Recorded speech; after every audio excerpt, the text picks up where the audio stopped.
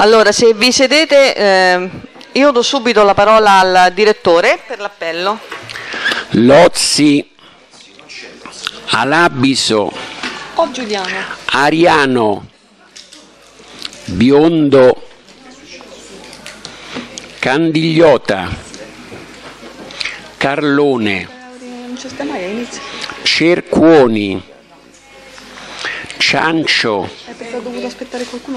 De Chiara.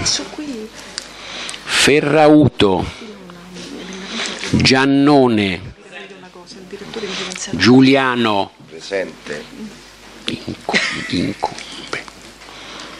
Gugliotta, Guido, Gunnella, La Zazzera, Pompei, Principato, Rinaldi, Gugliotta, Stelitano, Tosatti, Toti, Tripputi, Vitrotti, Zitoli,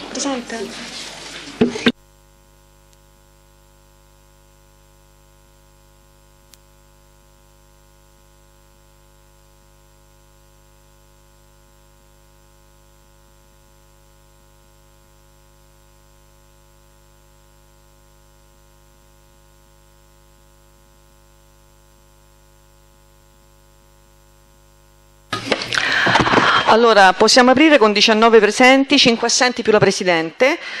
Intanto eh, c'era giustificato Tosatti, sì, perfetto.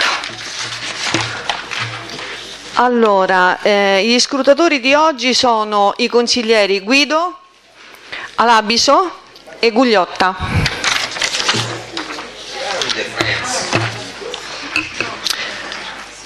Iniziamo subito col primo punto, che è una proposta di deliberazione avente ad oggetto regolamento del municipio Roma 7.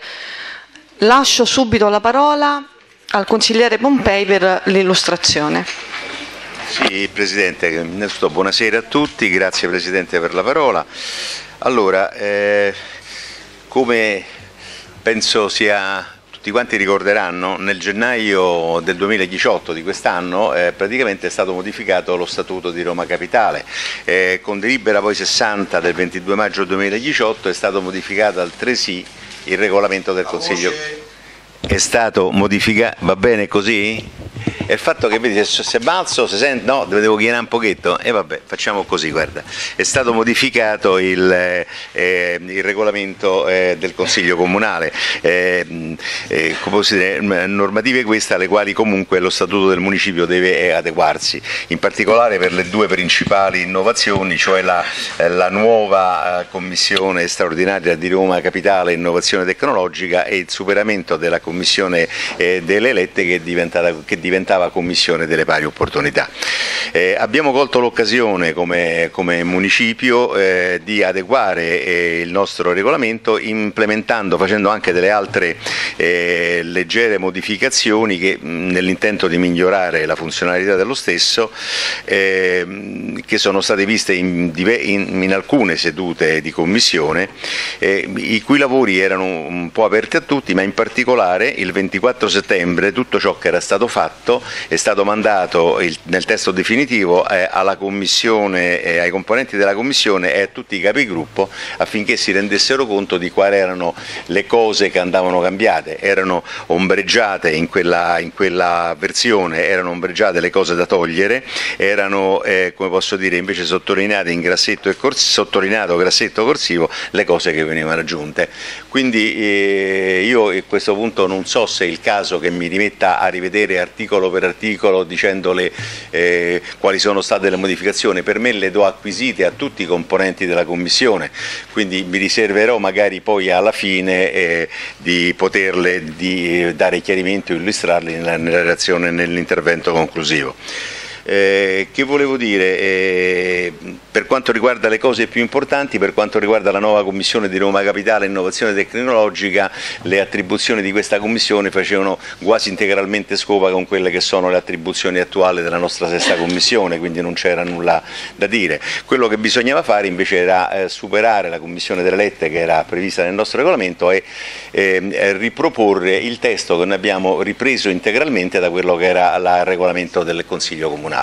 Eh, tutto qui, quindi altro per ora ora io non mi dilungo, avendo portato a conoscenza tutti quanti lo stato dell'arte prima, le modifiche fatte e il testo definitivo che stamattina mi sono così... Eh, eh, per tuziorismo eh, riletto eh, il, il, nuovo testo che ci è stato consegnato, quello ultimo, se riportava tutte quante le, eh, le, le, innovazioni. Quindi a questo punto mi taccio e lascio eh, la parola ai consiglieri per tutte le eventuali osservazioni, riservandomi, come ho detto, poi eventualmente alla fine, nell'intervento conclusivo, di chiarire dei punti che fossero rimasti eh, incompleti. Grazie.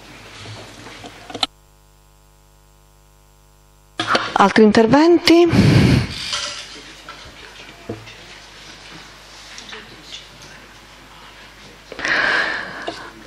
Non ci sono interventi. Eh, passiamo direttamente alle dichiarazioni di voto. È un intervento o dichiarazioni di voto? È un intervento. Sì, allora certo. Grazie Presidente, grazie consigliere, ringrazio al Presidente della Commissione che io mi scuso, non, ho, non faccio parte della commissione e quindi il testo l'ho avuto al sito istituzionale che lui forse conosceva e quindi l'ho reperito solo oggi, però ero informato del lavoro che stavate facendo mh, sulla commissione e sugli articoli che mh, dovevate cambiare per alcuni aspetti giustamente però tra eh, diciamo, l'articolo importante su cui avete discusso ci sono poi piccoli cambiamenti che io onestamente non, non ero a conoscenza e su questi vorrei dei chiarimenti, non tanto sulla commissione de, di pari opportunità che viene inserita con un articolo nuovo, il 46, ma su alcuni pezzettini secondo me importanti ma che eh, se alla fine o durante mi può chiarire o forse è una coppia vecchia quella che avete è già superata quello che io sto guardando. Ad esempio mi riferisco articolo 52 validità delle sedute prima e seconda convocazione. Che vuol dire che deve deve un consigliere per iscritto, se fa un richiamo al regolamento lo deve fare per iscritto, cioè deve scrivere, portarlo e poi dirlo al microfono. Fatemi capire, cioè perché c'è il comma, il comma 3 dell'articolo 52 e il comma 6 dove vengono cambiate delle modalità. Comma 6, quindi Immediatamente dopo l'appello effettuato nei termini di cui al comma 1, il Consiglio si presume adunato in un numero legale, salvo che prima di una votazione la verifica del numero legale sia richiesta da uno scrutatore o da un consigliere per iscritto, da due consiglieri o da un presidente di gruppo. Voglio dire, cioè non farebbe in tempo neppure ad andare, deve, come lo deve scrivere, perché lo deve fare per iscritto? O è cambiato questo righetto che sto leggendo dell'articolo 52? Perché adesso vado alle altre annotazioni che ho fatto sul regolamento. Io penso che forse in seduta di commissione questa roba l'avete vista molto bene, quindi alla fine potrà avere un chiarimento perché è natura che rispetto a un regolamento cambiato ci deve essere la massima, come dire, cosa che non ho visto in tutti i regolamenti trascorsi. Questa era una. Grazie. Poi l'altro aspetto, sempre richiama al regolamento, presentati per iscritto, pure grande, in eretto, gli interventi per il richiamo al regolamento presentati per iscritto non mi sembra che il consigliere che ha richiamato al regolamento abbia formulato o ha il tempo di formulare una richiesta per iscritto? Andiamo avanti. Articolo 65, richiesta della parola per fatto personale. Anche qua ho delle perplessità rispetto alle modalità della nuova articolazione sia del comma 3 sia del comma 1. Articolo, ve lo dico subito, 64, richiama al regolamento. In che forma un consigliere si appella al richiamo al regolamento? Articolo 68, presentazione degli amenti e subemendamenti. Quindi è un altro articolo che cambia rispetto alla, alla precedente. No?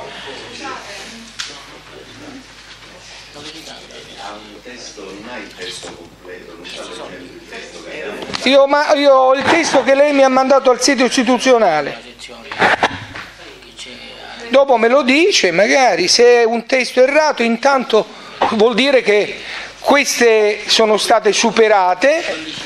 Faccio una, una, precisazione magari. Allora, il 24 settembre su mia richiesta aveva inviato il mh, mm, Presidente Pompei a tutti i capigruppo, su, proprio su mia richiesta del direttore, in modo che tutti potessero essere informati. Io l'unica il, copia che ho avuto Un attimo, io no, lo voglio dire perché eh, penso a un chiarimento importante perché se no andiamo avanti e parliamo di, di cose che non, eh, non, si capiscono. Allora, il 24 questo, eh, un attimo attimo, consigliere Ciancio, mi scusi, me la fa fare questa precisazione sì. perché penso sia importante, altrimenti non ci capiamo.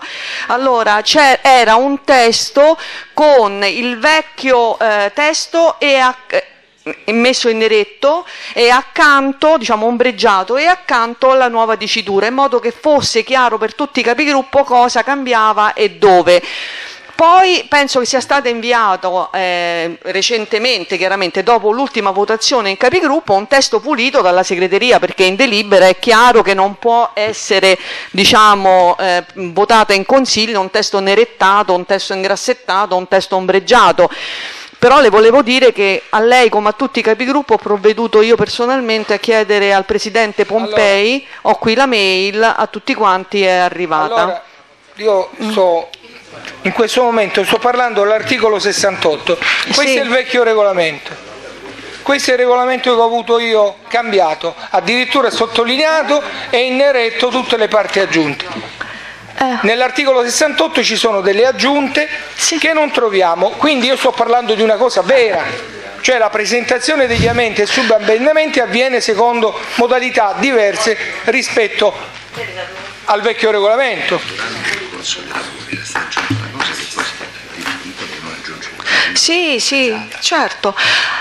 Allora, ehm, cerchiamo di capirci sul metodo perché altrimenti non ne veniamo fuori, perché il regolamento ha avuto talmente tante commissioni, sono girate talmente tante copie. Eh, che è chiaro poi se non abbiamo quelle di riferimento non capiamo perché alcune cose sono state poi diciamo alcune modifiche in successive eh, commissioni sono state eh, abolite, depennate perché ci sono state discussioni con tutti quanti i gruppi consigliari io non lo so se il metodo giusto può essere, eh, Presidente Pompei, lei prenda nota di quello che eh, dice il consigliere Ciancio in modo che si possa rispondere puntualmente perché altrimenti non ne veniamo fuori perché abbiamo copie discordanti. È d'accordo consigliere Ciancio? Non abbiamo Prende... copie di... Scusatemi consigliere, mi perdoni consigliere, scusi. Non abbiamo copie discordanti. Io ho una copia precisa di quello che è diventato l'ultimo regolamento. Sì solo che sul mio sono scritte in neretto, sul testo che avete inviato sono normali, si mimetizzano nel, nel vecchio, quindi è difficile vederla la differenza. Certo, quelle col neretto era il lavoro di commissione. Evidenti. E lo ringrazio Pompei che ha avuto questa premura. Io dicevo di mettere a destra l'articolo e a sinistra l'articolo diverso per fare meglio. Però ottimo lavoro per alcuni aspetti, per altri vedo delle incongruenze. Giuste o sbagliato, me le spiegherà in aula se lei ritiene che l'interrogazione o un richiamo al regolamento debba essere fatto per iscritto oppure lo può dire il consigliere che di rito lo fa verbalmente. Siccome nel regolamento c'è scritto se non è vero, mi dice guardi questo, queste parole sono state soppresse. Mi fa, una, mi fa, capire una, cosa perché se no mm, veramente non sto capendo io. Lei ha il testo finale più quello vecchio, giusto? Sì, sì. Ok, ha il testo finale che è quello che ha girato la segreteria più quello vecchio, giusto? Esatto. Perfetto, allora l'unico modo è andare avanti come ho detto io, lei prende appunti eh, Presidente Pompei e poi sarà in grado di... Io non ho parlato della, dell'articolo aggiuntivo 46 che è la sostanza per cui doveva essere cambiato il regolamento perché è un argomento che avete discusso per molto tempo nella commissione competente e quindi avete trovato le giuste misure per elencare e le condizioni e le priorità e come sarà composta la Commissione pari opportunità. Io sto parlando di tutti gli altri piccoli cambiamenti che sono stati fatti al vecchio regolamento ma che naturalmente sfuggono se naturalmente questa copia che gentilmente ha fatto il Presidente della Commissione l'ha inoltrato però al sito istituzionale, cioè quello al Comune di Roma, perché al sito dove ci mandano le commissioni questo non è mai arrivato, è arrivato solamente al sito, giustamente perché è una copia corretta, se vuole faccio vedere anche la stampa che ho fatto. Direi giustamente, no? Come dice lei. Allora, dunque, questi ar- argomenti riguardano l'articolo anche 68, l'articolo 76, l'articolo 77, l'articolo 78, l'articolo 79, sono ca- piccoli cambiamenti operati in questi articoli. L'articolo 80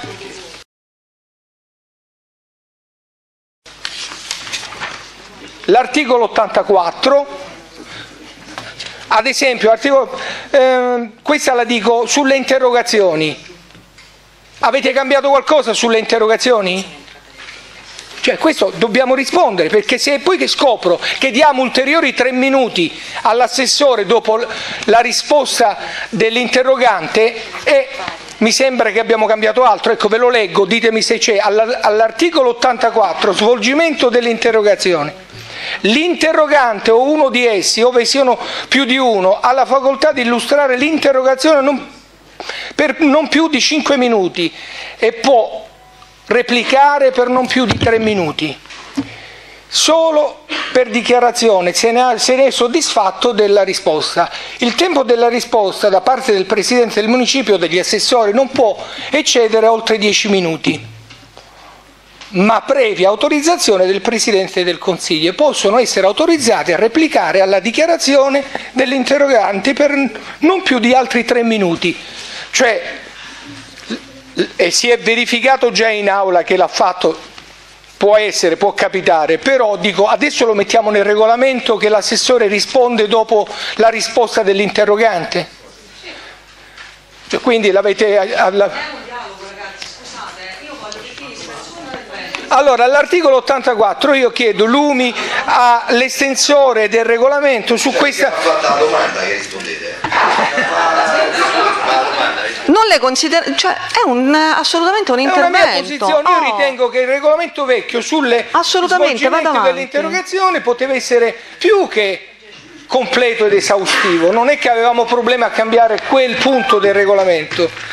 So bene, forse a quest'ora avremmo votato, Presidente, se io eh, avessi no, evitato no, di fare le, le, l'intervento perché è ovvio uno qualcuno deve aprire. Io ho aperto dicendo questa smania di dire cambiamo i regolamenti analizzare poi se funzionano, basta guardare a quello che abbiamo fatto, se i regolamenti che abbiamo cambiato hanno prodotto delle sane e buone operazioni, il tempo lo dirà, quando si scioglie la neve si vedrà quello che c'è, però a parer mio questi, alcuni di questi piccoli cambiamenti forse sono anche corretti, però molti, parecchi, sarebbero da discutere con più attenzione. E siccome in consiglio adesso diventerebbe lungo e logorroico cambiare una parola o due parole, eppure dovremmo farlo, a meno che in commissione mi dice il, il relatore che si è fatto perfettamente questo discorso. Io non ho, mi riservo quindi di, di prendere decisioni dopo l'intervento finale del consigliere relatore e ripeto, se vuole io lei ce l'ha la copia per cui sa benissimo dove ci sono stati i cambiamenti, se dobbiamo fare qualche interruzione la faremo perché io ritengo che un regolamento deve essere condiviso in modo più ampio possibile da tutte le forze politiche, come del resto il testo che si è approvato è nato da bei mesi di lavoro complessivo da parte di tutti i consiglieri nelle commissioni e addirittura è stato licenziato con qualche mese di ritardo proprio per garantire massima, massima trasparenza negli articoli che venivano deliberati. Grazie. Sì, consigliere Candigliota. Grazie Presidente. Allora, io, noi abbiamo, abbiamo fatto più molte, molte eh, commissioni, su questo abbiamo tra l'altro condiviso anche con l'opposizione, eh, magari su qualche cosa, mi ricordo ci siamo trovati anche d'accordo, su altre magari un po' meno, però meno male abbiamo fatto un percorso, percorso abbastanza lungo, quindi si suppone che chi in teoria non è in commissione e non fa parte, perché in quel, in quel contesto credo che il gruppo misto non ci sia, quindi non ha nessuno che possa riportare poi tutto l'iter che, che, che ha seguito poi la commissione. E ovviamente serve proprio a questo, cioè l'invio del, della documentazione, quindi uno la studia perché poi oltretutto anche le, le, minime cose sono state discusse tra maggioranza e opposizione cercando di riflettere cosa era meglio e, e cosa non era eh, diciamo che, che doveva essere cambiato. Quindi di conseguenza mi aspettavo mi aspettavo non un elenco de, de, de, del, diciamo degli articoli perché lo sappiamo quali articoli sono stati cambiati. Eh, spariamo numeri così eh, non, cioè senza spiegare perché questo perché quest'altro allora avrebbe senso. Allora uno potrebbe rispondere perché in commissione tra tutti quanti abbiamo optato per questa scelta perché la ritenevamo più che altro eh, più idonea. E, e, e dire solo numeri dire solo numeri non serve a niente, io stavo prendendo appunti, cioè su che cosa prendo appunti? Sugli articoli, non posso prendere i, i, numeri, prendo i numeri, lo so che abbiamo cambiato quello, ma che cosa è che non va? Ora, il problema è se uno arriva arriva, ecco, gli arriva l'email, se la scarica, se la legge e tutto quanto, non capisce determinate cose perché magari non può seguire tutto un iter che noi abbiamo fatto in commissione, allora uno magari lo spiega. Ma se io dico articolo 61, 62, 63, li abbiamo cambiati, sì, è una novità, l'abbiamo cambiati, però nello specifico dovremmo sapere che cosa. Oh, allora, alcune, alcune scelte le abbiamo fatte più volte. Eh, anche l'opposizione si ricorderà insomma, che abbiamo discusso se era più, più o meno valida la, la, cosa di mettere in una forma più che un'altra. Allora, io capisco che non essendo presente uno non può sapere cosa è successo, però se uno fa un intervento dicendo non mi va bene questo, non mi va bene perché allora io posso rispondere. Ma io che cosa rispondo? Che è stato cambiato il 64, il 65, il 66? Sì, sono stati cambiati. Eh, questo possiamo rispondere. Allora, cioè, eh, io, io penso e credo che sia forse più diciamo, costruttivo se le cose vengono chieste eh, con un certo criterio, perché se no siamo qua a perdere tempo, così perdiamo tempo. Se invece diventa costruttivo, se invece dire allora non mi piace questo per questo, per, per carità, è opinabile, è opinabile. Eh, comunque tendo sempre a ripetere che queste, queste, scelte sono state prese insieme tra maggioranza e opposizione e l'opposizione su questo me ne potrà dare atto. Poi si può essere, si può essere d'accordo su qualcosina in un modo, su qualcosina in un altro, quello sì, certo, però bisogna un attimino avere, avere, avere diciamo, un minimo almeno per controbattere, perché adesso io sto controbattendo praticamente sul nulla, grazie. Altri interventi? Vitrotti. Grazie Presidente. Proverò io a sintetizzare quello che ehm, forse eh, il consigliere Ciancio ha detto eh, non solo citando numeri ma appunto non avendo partecipato alle sedute di commissione non è riuscito a prendere neanche lo spirito di lavoro eh, che c'è stato ehm, nella sesta commissione. Perché? Perché devo dire eh, all'inizio ho tentato in un qualche modo di dare diciamo, un approccio che già, era già capitato nel regolamento per la partecipazione e quello per i comitati di quartiere, tendesse sempre meno a irrigimentare eh, stringere eh, dentro norme eh, come fosse appunto la necessità di ehm, eh, regolamentare però andando anche a eh, livellare quelle che nel corso anche di questi due anni abbiamo visto che appunto faceva riferimento non a un articolo a caso ma per esempio quello che riguarda le interrogazioni Insomma, abbiamo visto che lì ci siamo anche eh, diciamo, nella pratica eh, no, nei nostri consigli ci sono state delle modalità in cui a volte abbiamo anche lasciato che le due parti eh, arrivassero ad uno scambio costruttivo perché appunto l'interrogazione è diciamo, uno strumento che serve all'opposizione per capire per non arrivare a quelle informazioni che ovviamente una maggioranza probabilmente già ha. E quindi quel minuto in più, quella necessità di una replica sono e rientrano nel normale dibattito dibattito politico e democratico che ci dovrebbe essere sempre in un'aula.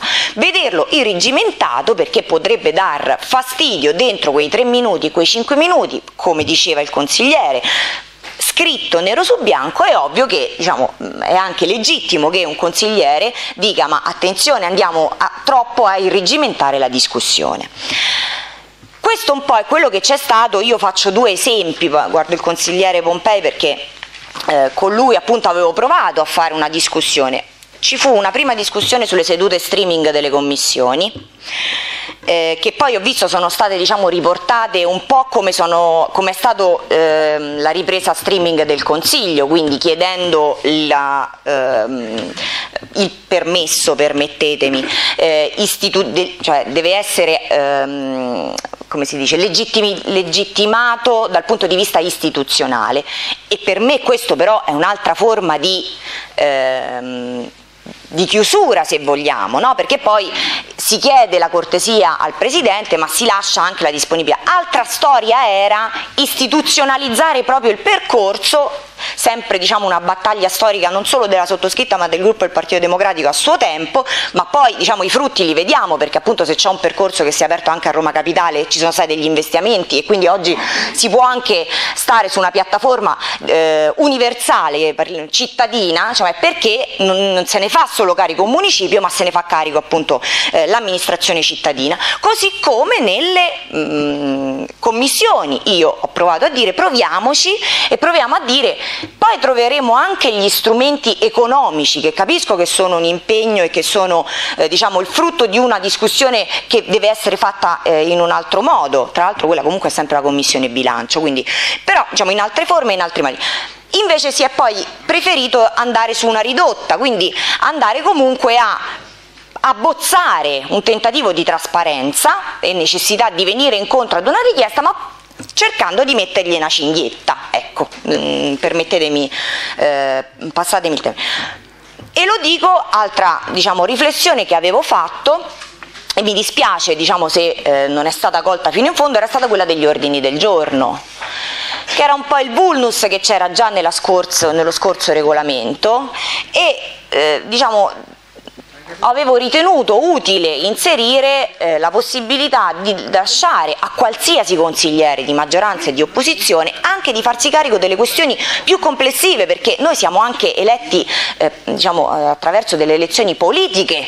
Quindi ognuno di noi eh, diciamo, avrà anche la sensibilità e deve eh, diciamo, avere quella sensibilità nel portare anche all'interno del nostro consiglio le questioni di carattere nazionali, generali, ciò che ci accade intorno a noi che non è solo la buca o il marciapiede o l'erba che, eh, che, non viene tagliata o la mondezza che non viene, ma sono questioni di carattere generale. Su questo il Presidente mi ha detto che c'erano comunque dei, dei problemi e quindi il nostro adeguamento a quello che doveva essere un percorso che andava molto incontro al regolamento cittadino perché il segretariato, perché questo, perché questo di fatto diciamo, non, non abbiamo avuto questa un forse un po' anche questo coraggio.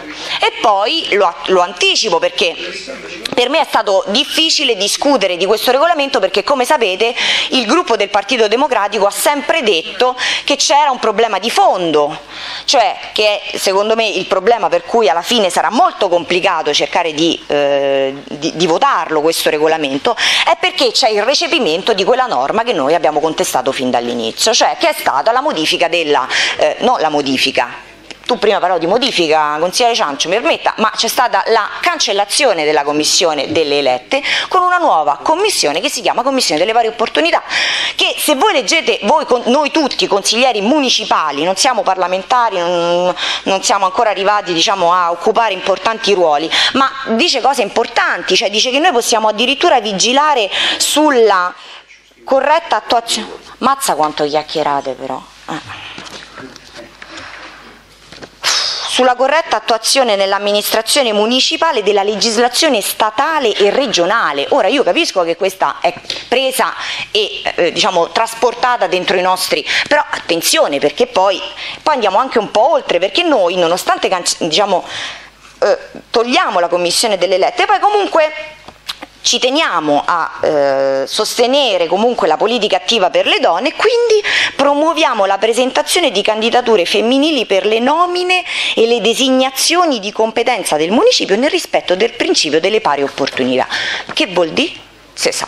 Quindi nella pratica una norma recepita nel nostro regolamento non solo è diciamo, dal nostro punto di vista sbagliata, perché toglie che sono quello che è il luogo preposto all'interno dell'amministrazione anche municipale delle politiche attive per le donne, ma non solo lo trasforma in qualche cosa che più fumoso non può essere, perché questo articolo dice tutto e non dice niente.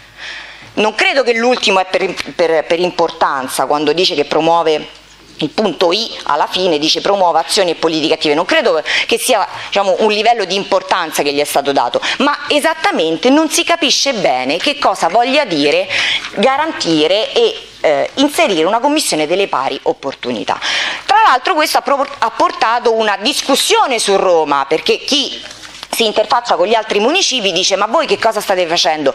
Chi aveva già le politiche come nel nostro caso, avevamo già nella, nella Commissione Politiche Sociali politiche, la delega alle pari opportunità, chi invece non ce l'aveva proprio e quindi un passaggio è stato diverso, chi invece l'ha dovuto... Cioè questo è stato anche il segnale di non conoscere quello che succedeva all'interno della realtà cittadina dei municipi. E quindi l'obbligo di prendervi una norma ideologica, perché poi di questo parliamo, che però fino ad oggi non capiamo ancora come sarà di fatto applicata.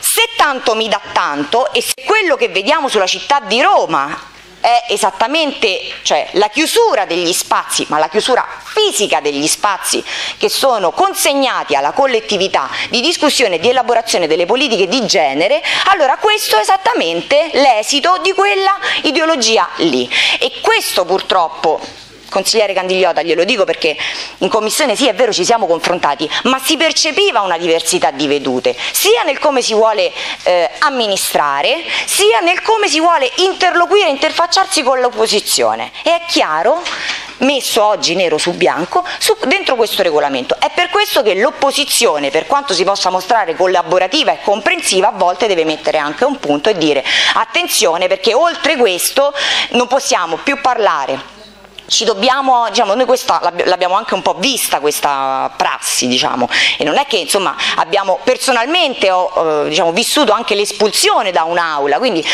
la modalità con la quale si vuole anche aggredire eh, gli spazi di discussione che ci sono in una normale eh, aula consigliare a volte si vanno diciamo, a ehm, eh, aggravare troppo. Pertanto, diciamo, al di là delle osservazioni che diciamo, vorrei ascoltare giustamente da parte del Presidente della Commissione perché ha fatto un lavoro anche difficile di collazione, rimangono delle perplessità perché ne, cioè, eh, ne stiamo parlando di come noi ci regoliamo qui dentro, che non è una banalità, che non deve garantire purtroppo solo la maggioranza, ma deve avere l'obbligo di garantire la vita democratica di maggioranza ed opposizione, cioè di tutta la vita del Consiglio e di tutta l'amministrazione amministrazione. Se viene meno questo presupposto, eh, diciamo che prevale invece una misura molto ideologica eh, diciamo, di, di, di, di, filone maggioritario che pertanto non riusciamo ad accogliere favorevolmente. Grazie. Altri interventi? Non ci sono. Sì, consigliere Giannone. Grazie Presidente. Io per la verità volevo fare un brevissimo intervento perché mi sembra che siano state dette cose un po'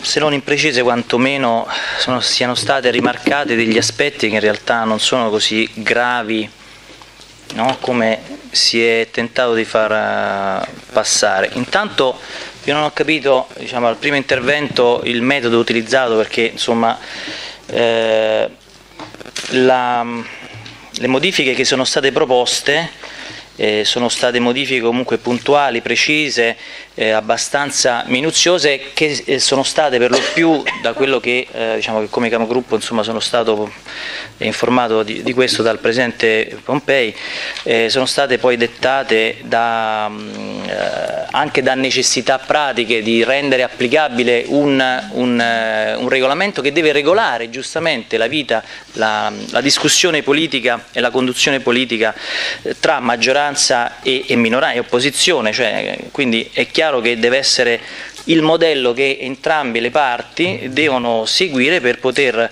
avere entrambi la, possibil entrambi, entrambi la possibilità di ehm, portare avanti un dialogo politico, ognuno per propria parte. Ora, ho letto che, eh, anzi ho sentito dire che eh, si, è, si, è, voluto irreggimentare no, la modalità con cui vengono eh, di fatto in alcuni casi è stato fatto già portate avanti, condotte le interrogazioni. Allora scusate, eh, l'interrogazione è una, dire, è una modalità come giustamente ho sentito dire, per l'opposizione, un'opportunità per le opposizioni di chiedere informazioni per poter poi portare avanti il dialogo politico all'assessore. Quindi l'interrogante chiede all'assessore Numi, Lumi, scusate, e, e dopodiché l'interrogante fa le sue considerazioni e dice sono soddisfatto di ciò che mi hai detto, non sono soddisfatto per questo motivo. Benissimo.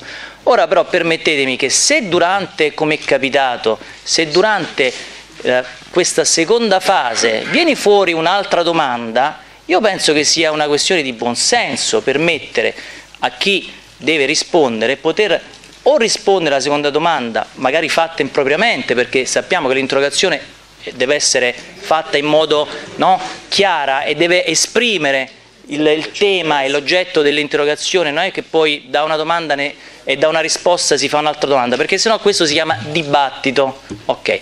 Però può capitare che nelle motivazioni eh, l'interrogante abbia motivi la sua mancata soddisfazione, per esempio, perché l'interrogato non è stato chiaro. Allora, secondo me, dare l'opportunità ad un assessore di poter replicare brevemente per chiarire, non penso che sia una cosa così eh, irreggimentata, significa semplicemente di fatto stabilire tutti quanti in modo chiaro che no, con regole condivise e note a priori che se tu mi fai una domanda non sei soddisfatta perché è una certa motivazione e in quella motivazione però mh, non è coerente con quello che io ti ho detto, dammi la possibilità di chiarire. Ed è ciò che è stato fatto già qualche altra volta, per cui secondo me inserire nel regolamento non può che essere a beneficio di tutti, perché le regole servono a tutti quanti per capire come dovrà essere portato avanti un, appunto, il dialogo. Poi sinceramente a proposito dello streaming mm, mi trova, insomma, io non ho capito bene la, la criticità che è stata rilevata. Lo streaming è una modalità per rendere pubbliche per dare la possibilità a tutti di partecipare, però sappiamo che ci sono pure delle, diciamo, del, delle regole delle, da, da, rispettare. Ora prendo il punto così vediamo tutto questo stravolgimento. Allora, all'articolo 45,2 è stato aggiunto che le riprese e le registrazioni debbono essere integrali. Per me questa è garanzia di imparzialità. Io non è che posso fare una registrazione, poi dopo ne prendo un pezzo, poi dopo la taglio, non la faccio, le faccio, la devo fare tutte dall'inizio alla fine. Tra parentesi è ciò che già avviene, quindi non, non mi sembra che sia uno stravolgimento. Le stesse, insieme alla conservazione dei relativi file, possono essere effettuate e curate solo chi, da chi istituzionalmente autorizzato. Quindi insieme alla conservazione, sappiamo che la conservazione di un filmato è un elemento abbastanza critico, sapete tutti la gestione, tutti quanti conoscete il tema delle registrazioni video, no? che eh, c'è bisogno di un'autorizzazione, c'è bisogno di un consenso informato, tant'è che è stata inserita all'inizio all'ingresso una targhettina, qui si fanno registrazioni, chi entra in questa sala sa di essere ripreso e quindi se io non voglio essere ripreso non entro in questa sala. E quindi la conservazione deve, fa essere fatta a cura di chi istituzionalmente è autorizzato, questo è un fatto di legge. Possono essere effettuate e curate le registrazioni solo da chi è istituzionalmente autorizzato, sempre per un motivo legato alla, a, alla normativa. Quindi io non capisco quale sia questa eh, Consigliera Biondo, lei parlerà quando è il momento. Questa critica. Lei parlerà quando è il momento, chiederà la parola e le verrà data. Mm? Vada avanti, consigliere. Okay. Io penso che invece eh, il percorso che, sia, che, è stato fatto in Commissione è un percorso eh, sicuramente valido perché eh, dopo un anno più o meno in cui è stato approvato la, prima, diciamo, la versione nuova del, del, di questo eh, regolamento, è importante fare un po' di tuning, no? si dice in termini tecnici, cioè mettiamo un po', no? vediamo un po' cos'è che non ha funzionato, di registrare, registrare un po', no? eh, tecnicamente questo è il, te il termine, e quindi non mi sembra che ci siano degli elementi che aggrediscono gli spazi di discussione no, dell'opposizione. Dell Sinceramente regolamento non, questo regolamento non, non vieta alle opposizioni di poter esprimere propria, eh, il proprio giudizio, le proprie, la propria capacità di esprimersi su, su delle tematiche. Non mi sembra affatto perché altrimenti sarebbe veramente preoccupante. Quindi sostanzialmente io penso che sia stato un buon lavoro che eh, non può far altro che migliorare invece la modalità con cui il, il dialogo politico continuerà ad essere portato avanti dalla maggioranza e dalla minoranza nella misura in cui ognuno, ognuno vorrà parteciparvi. Grazie. 20. Consigliere Giuliano. Eh sì, grazie Presidente. Avendo scritto, sì, avendo scritto e avendo preso dei, dei dati dal collega Ciancio, dico, dovrei dire alcune cose, ma le dico perché mh, mm, mi sta un po' stretto il fatto di essere parte integrante dell'ufficio presidenza e quindi ritengo che l'ufficio presidenza, la Presidente e i vicepresidenti ovviamente hanno in questo caso hanno un po' più di tra virgolette responsabilità politica non tanto per quello che è stato modificato ma per quello che poi dovrebbe essere la garanzia dello svolgimento del, del lavoro consiliare e quindi l'organo garante. Infatti non a caso l'ufficio di presidenza ha ritenuto che oggi eh, si poteva fare questo, questa delibera in presenza del direttore perché la scorsa settimana non era presente e quindi ritavamo, abbiamo ritenuto opportuno che eh, il regolamento oh, in questione fosse alla presenza del direttore sempre come garanzia della parte amministrativa e responsabilità del municipio. Per cui queste sono due cose che ho detto adesso non di poco conto, cioè se appunto dobbiamo essere garanti come ufficio di presidenza e come eh, il direttore e a garanzia di un lavoro, è normale che non ci debba essere, secondo me, molta soggettività. Ora, io non metto in dubbio che, non essendo parte integrante della Commissione, ma il collega me ne ha già ampiamente parlato, e non dico che ci sia stata, come si dice, una volontà politica di parte per cercare di indirizzare in qualche modo questo tipo di regolamento, però avendo preso degli appunti mi sembra che ci sia una sorta di soggettività, cioè di aver lasciato al singolo soggetto l'interpretazione.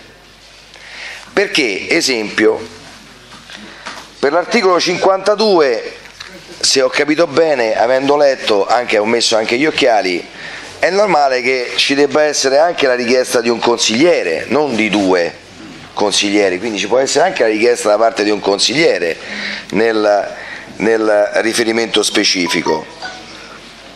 Anche per l'articolo 464 io vedo appunto che c'è in neretto il fatto di dover dire per richiamo al regolamento non ho capito Presidente se eh, bisogna, eh, si può fare verbale o bisogna scriverlo per fare richiamo al regolamento. Quindi se hanno messo un qualcosa di scritto, cioè se è stato modificato qualcosa di scritto, significa che abbiamo lasciato un po' il discorso soggettivo, cioè per noi in quel momento è utile scriverlo. Non, dobbiamo capito, essere distanti da qui, cioè dobbiamo eh, indossare un altro tipo di, di, di, di vestito, cioè quindi essere distaccati per essere garantisti. Quindi ho visto anche,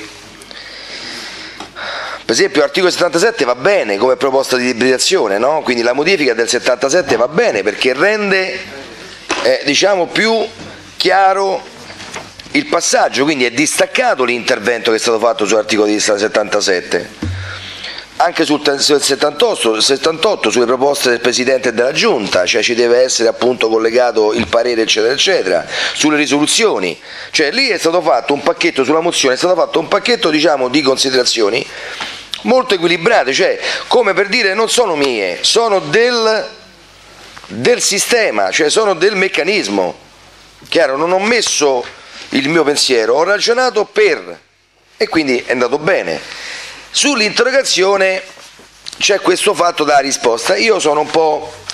Cioè io sono entrato in quest'aula consigliare in questo municipio sotto la ferrea, eh, come si dice, eh, egemonia del Partito Democratico e del centro-sinistra. E ho imparato alcune cose, ho preso tanti schiaffi politici, mancherebbe altro, ma ho imparato anche altre cose. Per cui la politica è un po' un animale strano, ci sono delle verità non dette. Il fatto dell'interrogazione che poi cioè, l'interrogazione si fa prima, non si fa dopo. Quindi, cioè uno quando fa l'interrogazione dice ma io devo fare delle domande, una, due, sedici, no? E le metto scritte. Poi l'assessore risponde a quelle 1, 2, 15, 16. Non può essere però che, quindi lo dico sia per l'interrogante, ma lo, lo, dico anche sia per l'assessore, non può essere che poi escono fuori in altre 5-6 domande. E non può essere che anche l'assessore si metta a rispondere alle 5-6 domande successive, perché se tu già le sapevi, le avresti scritte, saresti arrivato a 21, 22, 28. Quindi, eh, quando, per evitare questo io lascerei quello che era, cioè non, non darei ulteriore modo di allungare il brodo, perché poi si crea quello che ho detto prima come aggettivo, la soggettività, cioè di chi poi dice sì, te lo faccio dire, di chi dice no, non te lo faccio fare. E questo non lo dobbiamo togliere, cioè la parola soggettività, deve essere oggettiva la cosa. Poi sento, io ho sentito bene l'intervento della collega del PD e, e quindi vi trovate su un paio di parole quando è simpatica questa cosa che vi trovate insomma ad eh, contrastarvi su certi meccanismi, ma la realtà cittadina, quando sento questa parola realtà cittadina io veramente mi sento, mi vengono dei brividi perché dico massa che concezione politica, cioè che termini profondi. Poi alla fine eh, non è altro che essere in contatto con la realtà di tutti i giorni, quindi, oppure di chi in, questo, in questa istituzione deve essere garante, torniamo sempre lì. Se noi riusciamo a essere garanti, non oggettivi e non soggettivi, secondo me avremmo fatto il massimo. E siccome, ripeto, non vedo, e chiudo, non vedo una volontà personale, ci mancherebbe altro, ma noto una certa soggettività, c'è un modo anche di entrare personalmente dentro alla fase di regolamento, dovremmo essere un po' più distaccati e alcune cose sono andate bene, altre potrebbero essere più modificate e quindi c'è un po' di confusione per quanto ci riguarda. Grazie. Altri interventi? Non ci sono altri interventi? Allora, se non ci sono interventi può intervenire lei, consigliere Pompei. cercando di fare in modo che la voce si senta questa volta. No, io volevo dire eh, così eh, che le sedute sono state sempre comunicate, sono state pubbliche, non è che quelle aggiunte o quelle omissioni o quelle, quelle cancellazioni eh, sono il frutto di, di converticole che si sono riunite a mezzanotte col favore delle tenebre hanno eh, è sempre stato, tant'è che a volte ci siamo trovati non in linea eh, anche con la direzione, mi scuserà se lo, e a un certo punto abbiamo portato avanti quelle che erano le nostre idee, ciascuno ha detto la sua, poi si è scelto. E io nel, pro, proprio per questo motivo che è stato un processo dinamico, quindi non una cosa calata dal cielo, a un certo punto ho fatto mandare, eh, d'intesa con la segreteria del Consiglio, il 24 settembre mandai ai componenti del Consiglio, ma poi mandai eh, a, eh, a, Carlone, Stelitano, Gugliotta, Vitrotti, Giannone, eh, Ciancio e, Totti, e Toti, mandai tut, eh, la copia finale di quello che era stato il prodotto, precisando eh, vi, vi, mando, trasmetti il testo votato dalla Commissione del 19 scorso, ove sono riportate in grassetto corsivo sottolineato tutte le modifiche man mano apportate nel corso delle commissioni precedenti ed ombreggiati le parti risultate poi da cancellare. Quindi in effetti ho cercato di essere chiaro. Eh, per cui quando, eh, dire, quando parliamo per esempio dell'articolo 64, eh, i richiami al regolamento, la frase da leggere presentati per iscritto è ombreggiato, quindi non va tenuto più conto, ma la, la, il regolamento recita esattamente i richiami per, per, gli interventi per i richiami al regolamento richiesti con alzata di mano hanno la precedenza, eccetera, eccetera. Quindi volendo, ripeto, ci, mi era sembrato abbastanza chiaro. Ovviamente poi sono stati evidenziati una serie di, di cose, eh, alcuni articoli, quelle modifiche, cioè l'articolo 68 per esempio, eh, era stato detto eh, per esempio durante il corso del che è tipico, eh, a un certo punto c'è stata una, una, interpretazione sulla presentabilità degli emendamenti. Gli emendamenti possono essere presentati soltanto per le proposte di delibera o anche per altri. E praticamente si era trovato inizialmente una frase, un escamotage, per gli atti e atti di indirizzo possono essere presentate modifiche come previsto nelle specifiche discipline. Qui non ci siamo trovati in linea, abbiamo fatto una discussione, abbiamo visto quello che ha comunicato il segretariato e quindi praticamente a un certo punto gli emendamenti sono presentabili anche per altri atti, come dice il segretariato, per cui abbiamo depennato questa frase che inizialmente era stata messa. E così è stato per tutto quanto il resto. Ora si può essere d'accordo o non d'accordo, per carità, però ripeto, eh, leggendo, eh, leggendo, gli altri articoli, il 76, il 77, e praticamente eh, questo è il metodo che si è seguito, la parte che è risultata, che poi quella trasmessa in chiaro, senza nessuna ombreggiatura o sottolineatura, dal Consiglio che io stamattina me ne è testimone qualcuno del Consiglio, mi sono riletto tutto quanto per vedere che anche la segreteria non avesse fatto errori, chiedo scusa, però era, è un modo per essere sicuri quando poi veniamo in aula e a un certo punto mh, mm, mi è parso. Ripeto, eh, possono essere condivisi o non condivisi, eh, per esempio ecco, l'articolo 76 questo sempre per ripetere il concetto di prima, avevamo scritto le proposte di liberazione iniziativa dei consiglieri redatte in maniera definita sia nella forma che nella sostanza, poi si è visto che questo poteva essere interpretato diversamente, per cui a un certo punto si è preso e si è cancellato. Eh, ecco, quindi questa era una cosa introdotta durante le discussioni e poi successivamente nei termini finali cancellato. Quindi questo per quanto riguarda gli articoli. Gli articoli così come eh, eh, proposti alla fine a, a, a me sono parsi logici, eh, quindi che ne so, poi diventa, ecco, diventa uno, ciascuno può, può, può sostenere un'opinione diversa, eh, nell'intento di fare in modo che il, eh, dire, le sedute del Consiglio e lo svolgimento dell'attività fosse il più fluido possibile.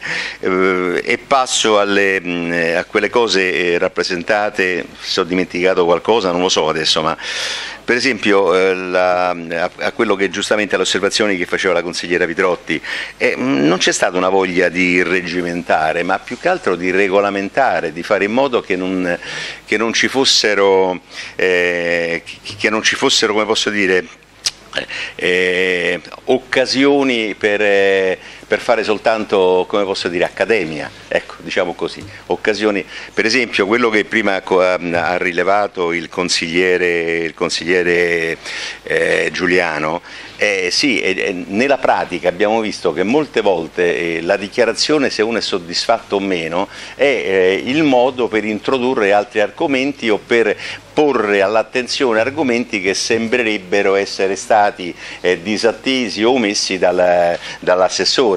Per cui par, mi pare, io sposerei, mi pare logico e giusto, proprio per evitare questi, dare il modo all'assessore di poter in maniera molto breve eh, eh, fare una piccola replica. Certo, poi qualcuno deve decidere se dargli o meno questa facoltà, quindi non è un voler, eh, come posso dire, assumere una posizione dirigista da parte del, della Presidente del Consiglio, per un modo per regolare la seduta. Tutto qui. Passando, come dicevo prima, invece al, alle osservazioni che ci ha fatto la consigliera Vidrotti, alla quale devo dar atto di essere intervenuta più volte, perché è la verità, eh, per esempio è... Eh, eh Beh, non sempre la presenza è, è sinonimo di partecipazione, eh? invece la consigliera Vidrotti quando c'è stata ha partecipato, quindi ne devo dare atto. E, per esempio per, quanto, per lo streaming già risposto, eh, eh, come posso dire, ha risposto in maniera esaustiva, penso il consigliere Giannone, in realtà quello che ci interessa è che ci sia una copia integrale di ciò e che sia custodita, perché se no prendere un pezzo, cioè di qualsiasi discorso, di qualsiasi accadimento, prendere un pezzo, tagliarlo, fa vedi che ha detto quello senza, può diventare eh, proprio per eliminare queste strumentalizzazioni politiche. Un'altra cosa che diceva giustamente la consigliera Vidrotti era quando per gli ordini del giorno. E a un certo punto noi qui abbiamo, però questa era una cosa che già c'era dal vecchio statuto, eh, mi faceva notare la consigliera Vidrotti che quando recitiamo eh, dunque eh, ciascun consigliere possono essere presentati all'articolo 82 ordini del giorno, vale a dire dichiarazioni di intenti mediante le quali sono espressi indirizzi attuativi concernenti esclusivamente la materia della proposta di deliberazione. Eh, questo certo stringe molto la possibilità di intervento, però d'altra parte questo è un consiglio municipale, se incominciamo a parlare dei massimi sistemi non so quanto possa essere compatibile, anche che poi dei riferimenti a circostanze o fatti eh, eh, di carattere, come posso dire, sovramunicipale che però sono interessi, non credo che non si possa trovare la, il modo e la maniera di introdurli e trattarli, anche se brevemente e sinteticamente, in questo Consiglio. Eh, per quanto riguarda poi la Commissione delle lette e delle varie opportunità, certo l'argomento è, io me ne rendo conto che è estremamente delicato, però questo è un discorso adesso è stata presa una decisione a livello sovraordinato rispetto a noi, cioè a livello municipale, Sono, è stato deciso di superare quella che era la commissione delle varie opportunità e per andare alla commissione Commissione dell'Ette, c'è una norma di legge che a un certo punto disciplina la presenza di uomini e donne all'interno delle commissioni, eh, all'interno delle rappresentanze diciamo in genere e quindi anche lì ci trovavamo un attimino stretti, anche se questo a titolo personale devo dire che probabilmente da quando sono state fatte le prime commissioni delle Lette a oggi i tempi sono un attimino cambiati, se noi guardiamo di fatto quella che è la composizione della pubblica amministrazione eh, ci accorgiamo dovremmo forse fare un ripensamento ripensamento e vedere, no, ma non in senso, mm, direttore, non, sì, quella sarebbe la prima, ma in senso anche di chiedersi quali sono le effettive esigenze della donna che lavora, perché noi molte volte in virtù di una eh, asserita eguaglianza dimentichiamo, come dico spesso, forse per alcune mi ripeto, che la donna è anche madre, è, è alla casa, magari i genitori anziani, tutte cose che comunque gravitano nella sua sfera, proprio per fatto quasi naturale e che quindi invece una, una, sola asserita uguaglianza di carriera a un certo punto non la agevola e non l'aiuta. Ecco, quindi, quindi, però ripeto, è un terreno estremamente articolato, ci potremmo fare, però ripeto, noi siamo stati, eh, diciamo così, a un certo punto l'alveo era tracciato e su quell'alveo ci siamo eh, dovuti necessariamente eh, insinuare. Eh, No, niente, quindi in realtà ecco, questo era quello che, che, mi viene in mente di dire, non di più. Si è cercato di fare un lavoro adeguato a quella che è la situazione attuale, questo non significa che l'esperienza successiva eh, non ci possa suggerire delle ulteriori modifiche e delle, degli aggiornamenti, non è assolutamente vietato. Questo serviva però per ora perché entro un certo termine dovevamo comunque adeguarci come da lettere di richiamo superiori dovevamo adeguarci a quella che era l'impostazione dello statuto e del regolamento del Consiglio, dello statuto comunale e del regolamento del Consiglio comunale. Grazie per l'attenzione, credo di aver risposto a tutto. Dichiarazioni di voto. Non ci sono dichiarazioni? Sì, Vitrotti. Grazie Presidente. Devo dire che devo ringraziare gli interventi del capogruppo del Movimento 5 Stelle, in parte anche del vicepresidente del municipio, eh, per avermi ulteriormente diciamo, tolto ogni dubbio rispetto alla eh, nostra eh, predisposizione, diciamo, quello che volevamo fare in parte ce l'avete confermato e pertanto il Partito Democratico voterà contro. Ah. Altre dichiarazioni di voto? Sì. Io no, non faccio parte della Commissione, perciò non ho partecipato al dibattito che si è svolto, come ha detto il Presidente della Commissione, eh, in tante sedute, eh, avrei voluto partecipare. Io comunque non sono intervenuto perché eh, condivido perfettamente quello che l'intervento che ha fatto l'amico del centrodestra è senz'altro eh, condivisibilissimo e mh, mm, proprio rispettando questo intervento eh, che poi voglio dire è quello che io penso rispetto al regolamento, eh, l'espressione di voto sarà per l'astensione. Altre dichiarazioni?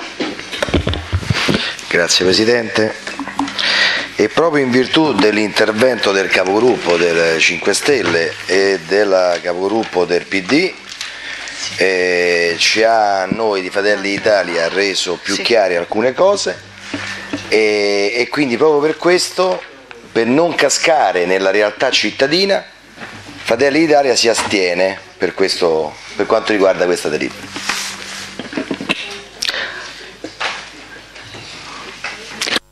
Dichiarazioni? Sì. Grazie Presidente. Eh, per le ragioni che ho introdotto nella forma e nella sostanza delle parole e del significato, sono andato a trovare due parole importanti mentre relazionavano alcuni consiglieri, tra dovranno e, po- e potranno. Vi è una differenza straordinaria, per cui le parole sono la sostanza le parole sono l'anima delle cose e noi ci diamo da fare per soffocarle, sia quando vengono dette da, dai consiglieri, sia quando vengono dette a volte dai cittadini. Ma scorarsi dietro un regolamento che tutela esclusivamente una parte è già stato sconsigliato e ho sempre detestato le maggioranze che andavano in cammino subito nella direzione del cambiamento di, di regolamenti. Io trovo, come dire, alquanto sconcertante che si è messo mano un po' dappertutto, anche se poco, però vedete poi una parola scelta, la parola in grigetto, la parola in neretto, che una è dovere e l'altra è potere. C'è una grande differenza cioè tra il dovere e il potere. Questo è, tutto. Ho trovato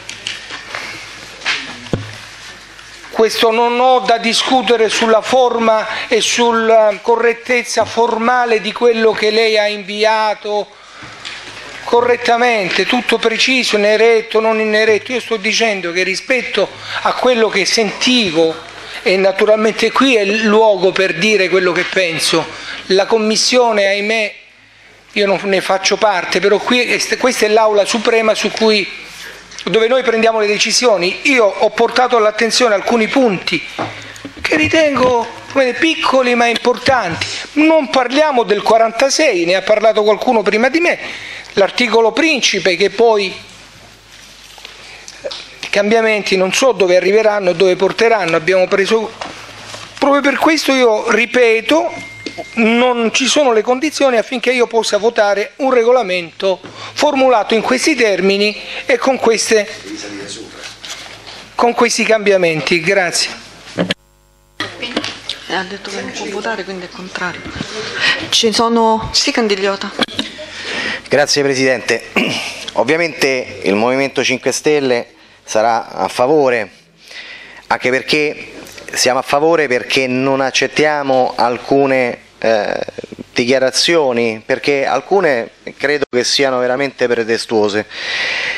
E quando si dice che eh, non garantisce eh, la parità tra la, tra la, maggioranza e l'opposizione questo non lo trovo giusto, anzi forse si, penso che sia il contrario, in quanto se parliamo di streaming stiamo dando la possibilità a tutti di attingere a un video e non che se io vengo a fare un filmato ovviamente me lo metto sulla mia pagina, io che sono della maggioranza o viceversa devo andare sulla pagina del consigliere che l'ha fatto e lo devo condividere, cioè faccio un esempio, no? quindi dà la possibilità a tutti, quindi si chiama democrazia questa, di poter attingere a del materiale che è uguale per tutti e soprattutto nella sua interezza.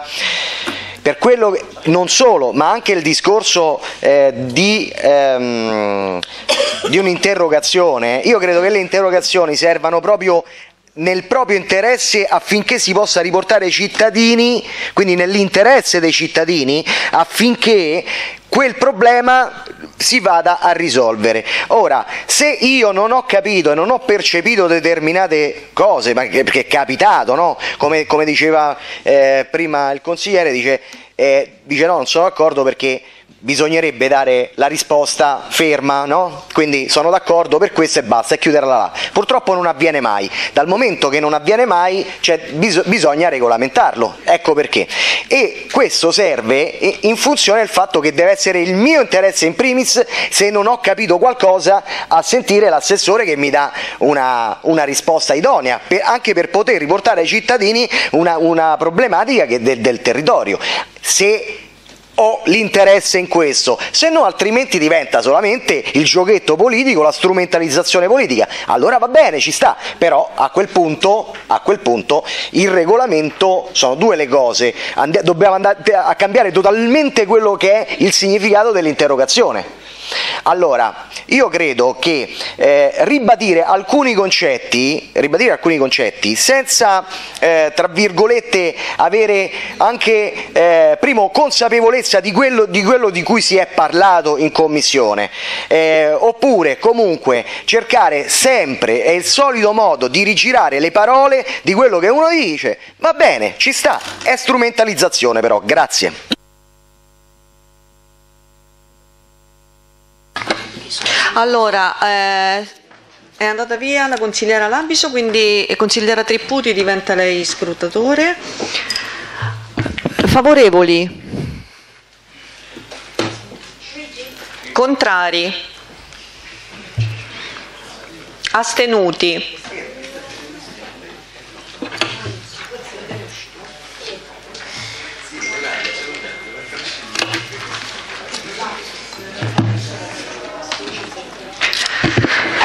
Il Consiglio approva con 13 voti favorevoli, 4 contrari e 3 astenuti. Votiamo ora per l'immediata eseguibilità. Favorevoli?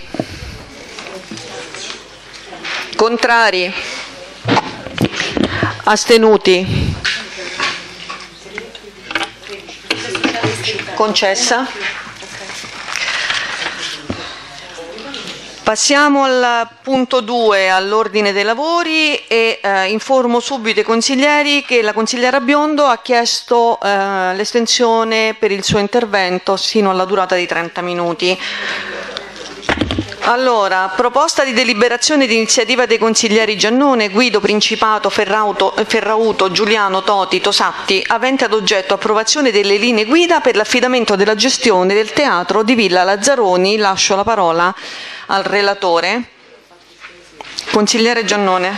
Sì, grazie Presidente. Eh, colleghi consiglieri, presentiamo oggi questa proposta di deliberazione che abbiamo preparato durante eh, numerose riunioni di sedute di commissione della Commissione Quinta eh, negli scorsi mesi.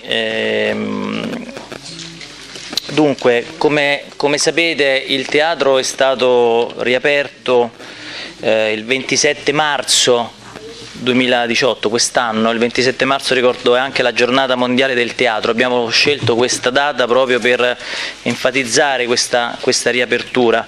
È una riapertura che eh, è avvenuta dopo anni di, diciamo, di, chiusura, dopo un periodo di, di lavori che sono costati all'amministrazione e ai cittadini circa 875 mila euro stanziati scorsi, nella scorsa consigliatura, ma che purtroppo non sono stati sufficienti per, eh, perché potesse vedere la luce diciamo, la, il teatro nella nuova veste eh, per tempo.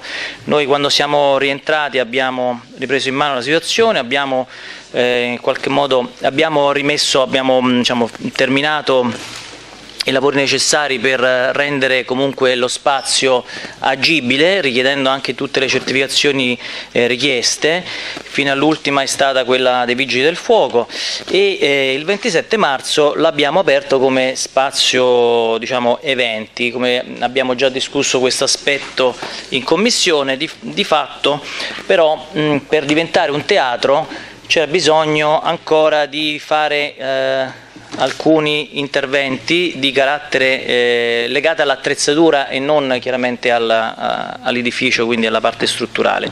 Questi, mh, per questo motivo noi oh, c'era poi la, abbiamo anche discusso la modalità con cui la gestione di questo teatro dovesse avvenire. Nelle, nelle commissioni che ho mm, convocato sul tema eh, hanno partecipato molto assiduamente e, e, ringrazio pubblicamente i cittadini e le associazioni che hanno partecipato per costruire insieme queste linee guida.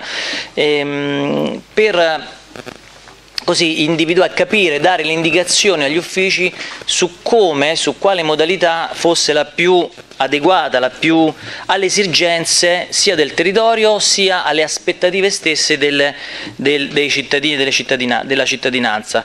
Oltre alle associazioni culturali eh, del nostro municipio hanno partecipato anche il comitato di quartiere eh, della, della, zona.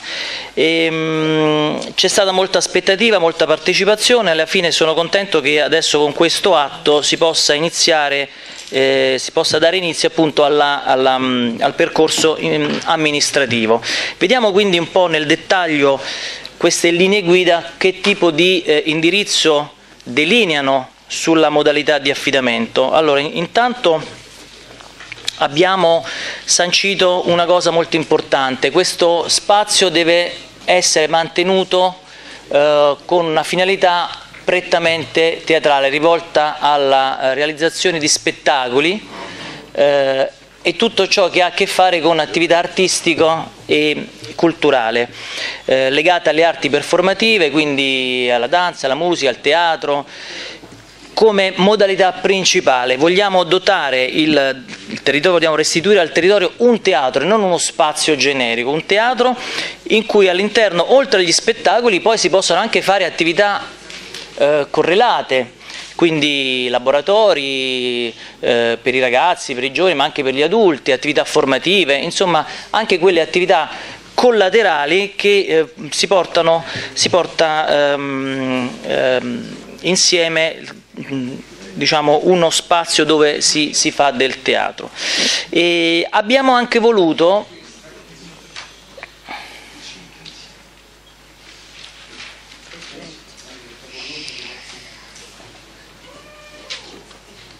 Grazie.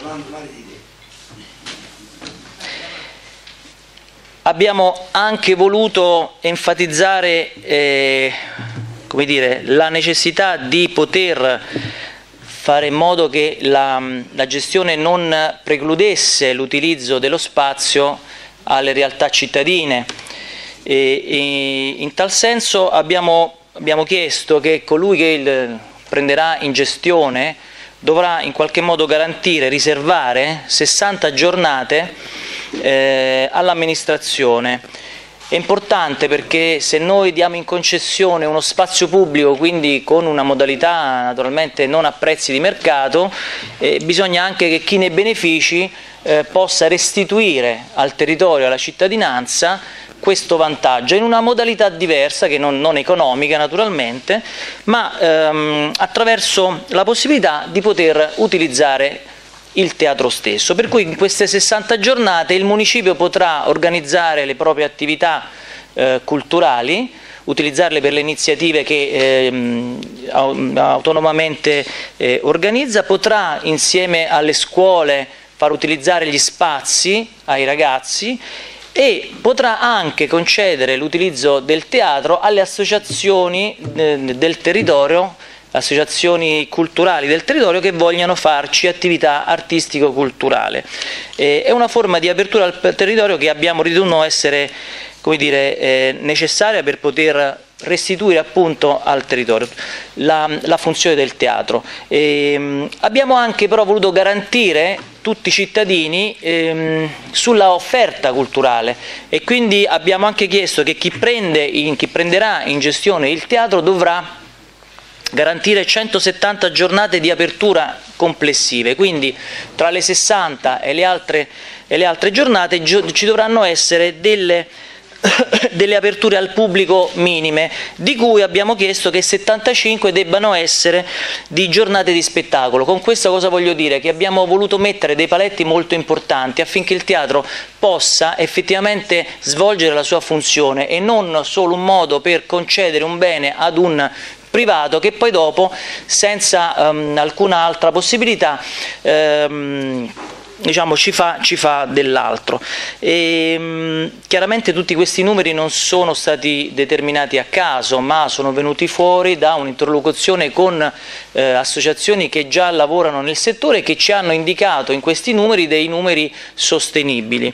Eh, c'era chi addirittura diceva che almeno 90 giornate di spettacolo si fanno, noi abbiamo voluto mantenerci un po' più bassi per non sembrare troppo restrittivi, quindi in qualche modo chi prenderà in gestione questo teatro dovrà garantire 75 giornate di spettacolo dal vivo.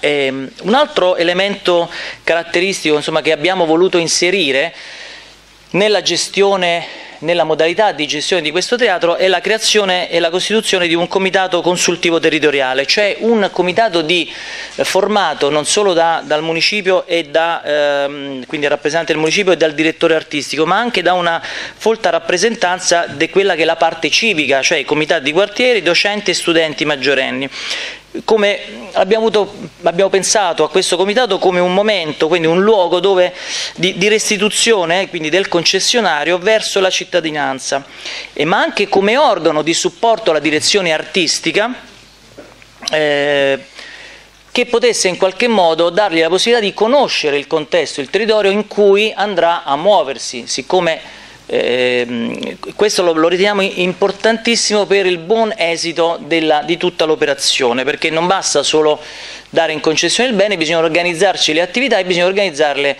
in modo mh, oculato e soprattutto tenendo conto del territorio.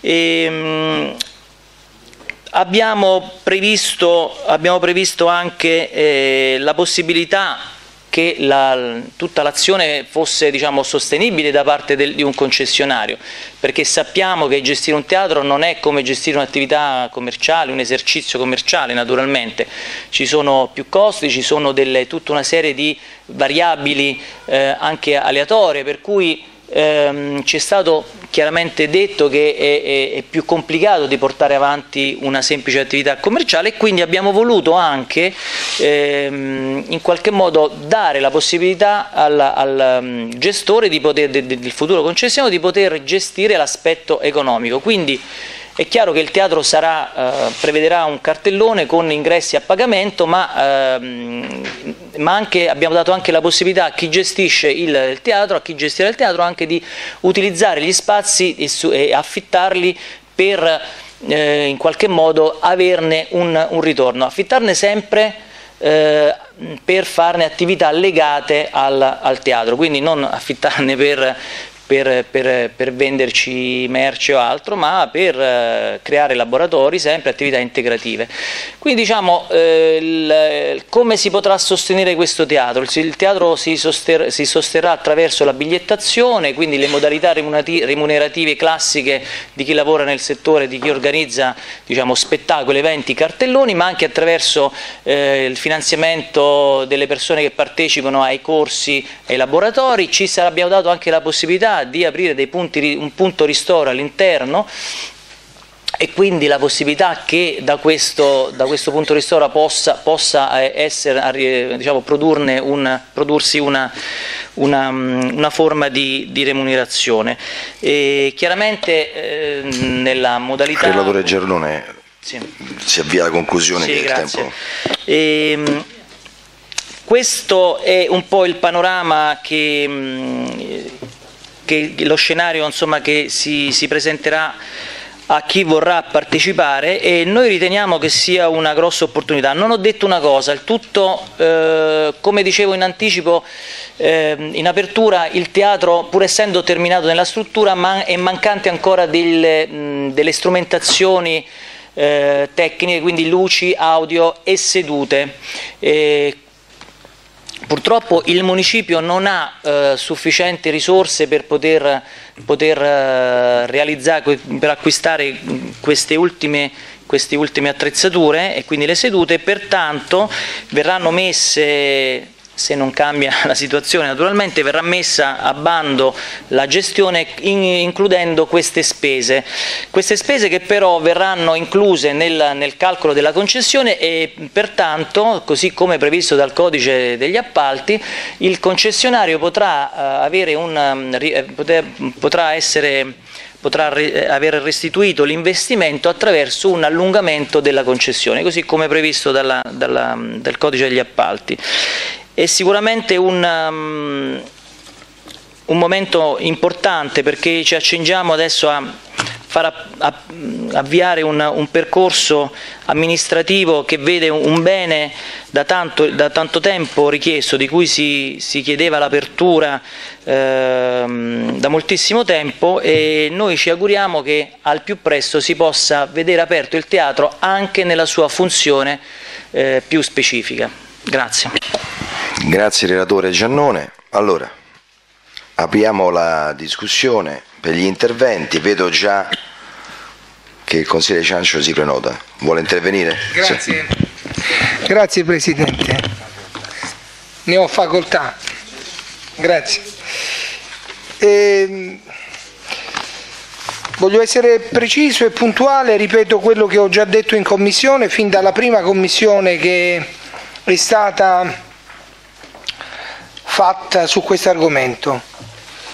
E mi domando chi lo prenderà in gestione?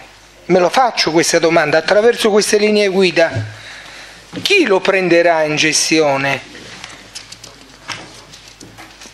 Queste linee guida, l'ho già detto, non pongono sullo stesso piano gli operatori che vorrebbero partecipare. Per un semplice fatto, perché qua bisogna mettere le risorse. Bisogna mettere delle risorse per comprare l'arredo, comprare le luci, comprare tutte le attrezzature. Quindi sicuramente ci saranno delle, delle associazioni che hanno delle risorse e questo già l'ho detto in commissione io conoscendo il panorama un po' delle associazioni non è facile trovare associazioni culturali in questo momento che hanno come dire, la possibilità di spendere del denaro per avere questo tipo di attività che poi tra parentesi dovrà essere valutata da un'analisi finanziaria che dica se va bene o male. Assolutamente Proprio per questo in commissione io ho suggerito di, guardate, la, la vicenda è lunga, del teatro di Villa Lazzaroni. Siamo partiti con una commissione in logo dove la maggioranza attuale ne ha sparate di cotte e di crude dicendo che i soldi non erano stati spesi i soldi, che cosa era successo, come mai. Poi alla fine siamo andati lì sul posto, abbiamo visto che tutto era stato fatto, funzionava, le carte erano a posto, però ci siamo sorbiti quei, tutti quei rimproveri che un'amministrazione comunque, perché chi fa sbaglia sempre, naturalmente può sbagliare, però voglio dirvi, sul municipio è stato, sul teatro di Villa Lazzarone è stata fatta una grande battaglia per riaverlo perché qualcuno dietro procedimenti errati e a volte linee guida che appaiono congruenti si celano dei vizi di forma che consentono a chi prende in gestione un teatro, un bene pubblico, di non restituirlo. Allora, dietro il fatto che c'è qualche associazione o gruppo ipotetico che non ha nulla a che vedere con la tipologia delle associazioni culturali possa pensare di fare squadra per mettere i soldi e prendere un teatro e di teatro non sa neppure che cosa possa essere, io non ci sto. Quello che abbiamo discusso in commissione sulla cultura, tutte le premesse, le condivido in pieno, caro Presidente.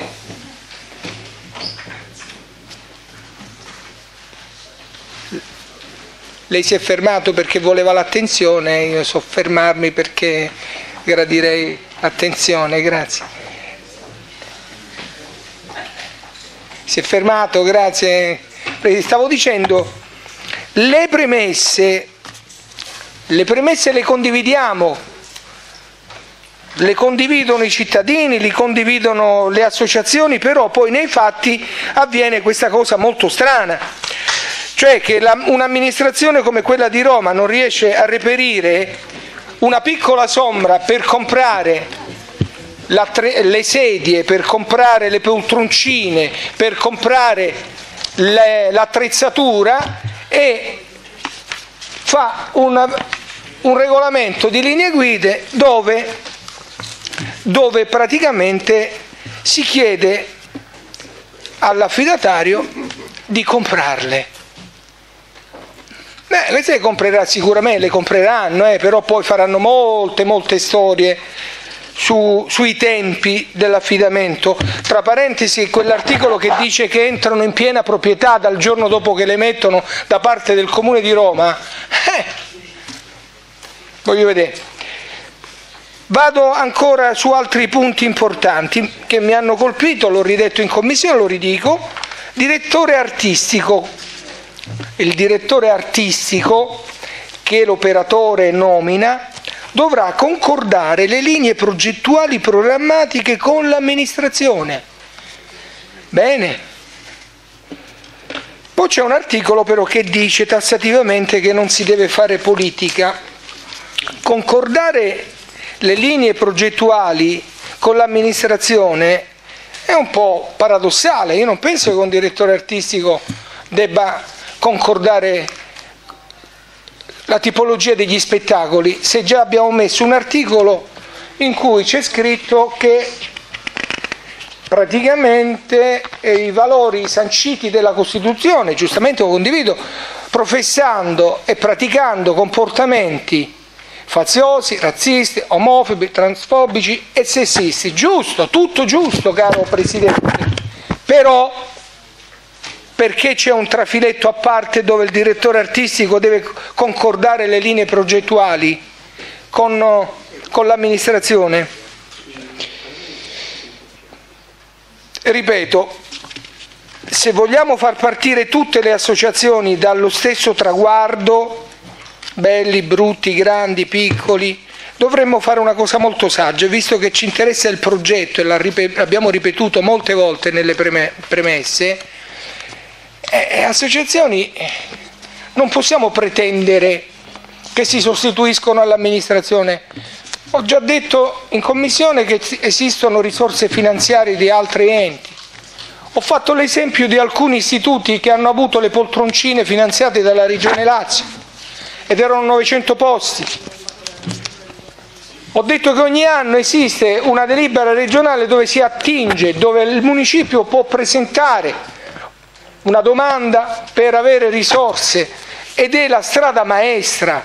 Per me questa rimane la strada maestra. Non si può pretendere da associazioni che praticano la cultura nel nostro territorio una spesa così esosa. Ci aggiriamo intorno ai 70-80 mila euro per mettere a posto il teatro e lo sappiamo, non abbiamo carte da parte dell'ufficio tecnico, ma so bene di che trattasi, caro Presidente, cari consiglieri. Sono rimasto compiaciuto del fatto che il 27 marzo è stato inaugurato in concomitanza della giornata mondiale del teatro, si è fatto qualcosa in quel teatro, io non l'ho saputo, altrimenti avrei partecipato quindi la scuola Ettore Rolli ha presentato una mostra fotografica, se non mi sbaglio. L'assessore ha comprato addirittura i cavalletti per poter esporre, fare esporre, poi non sono stati, voglio dire, non so a che titolo, penso che si sia esposta un po' troppo con, e la ringrazio perché non è da tutti, però non può funzionare così. Però poi ci sono delle risposte dei cittadini quando si mettono sul sito queste iniziative, no? Dice sì, una bella cosa, tutto va bene, abbiamo riaperto, però qualcuno poi si domanda, bellissima notizia, dice, però si aspettano un'apertura vera del teatro. Con queste linee guida noi dovremmo aspettare comunque un anno. E io dico che assestamento bilancio nuovo, io avrei rinunciato assolutamente a qualsiasi altro pezzo di ristrutturazione, qualsiasi altro emendamento sul bilancio, ci avrei rinunciato perché è una parte importante, l'abbiamo analizzato, l'abbiamo guardato, abbiamo fatto i sopralluoghi, è nuovo, si perde, è ovvio lasciando ancora lì inutilizzato rischiamo di di dover spendere altri soldi per la copertura, per le infiltrazioni, sai, quando non viene utilizzata un'opera si degrada facilmente, per cui io sono d'accordo. Però questa strada, soprattutto quella dei permessi, cari presidenti, quella dei permessi, quella del nulla osta dei vigili del fuoco, che la chiedete alle associazioni, ma non sapranno neppure da dove iniziare un'associazione che deve preparare le carte per richiedere il nulla osta antincendio, domandatelo a Bianiobi. Tempo scaduto. Sì, grazie. domandiamolo ai nostri tecnici quanto è già difficile avere il nulla osta dei vigili del fuoco. Quindi questo metodo e questo regolamento preclude per il senso nobile che ho dell'arte, della cultura, io non, non, posso dire di no all'apertura perché quando apre un teatro e apre la cultura è un, come dire, più cultura vuol dire, vuol dire la cosa più bella che c'è, però non è questa la strada. Come io potrei fare l'esempio di dieci procedure che avete avviato, ma dieci procedure sono rimaste sulla carta.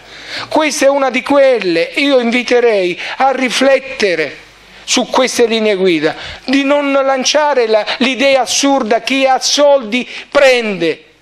Già qualcun altro l'ha fatto prima di voi, con risultati errati. E mi riferisco naturalmente ai governi. Basta, finisco qua Presidente, non voglio dilungarmi, ascolterò con attenzione gli interventi della maggioranza, i punti li avevo segnalati con una dichiarazione puntuale nei verbali, li rimarco in aula perché dico ripensateci su queste linee guida perché ci sono dei punti che andrebbero assolutamente cambiati. Grazie. Interventi?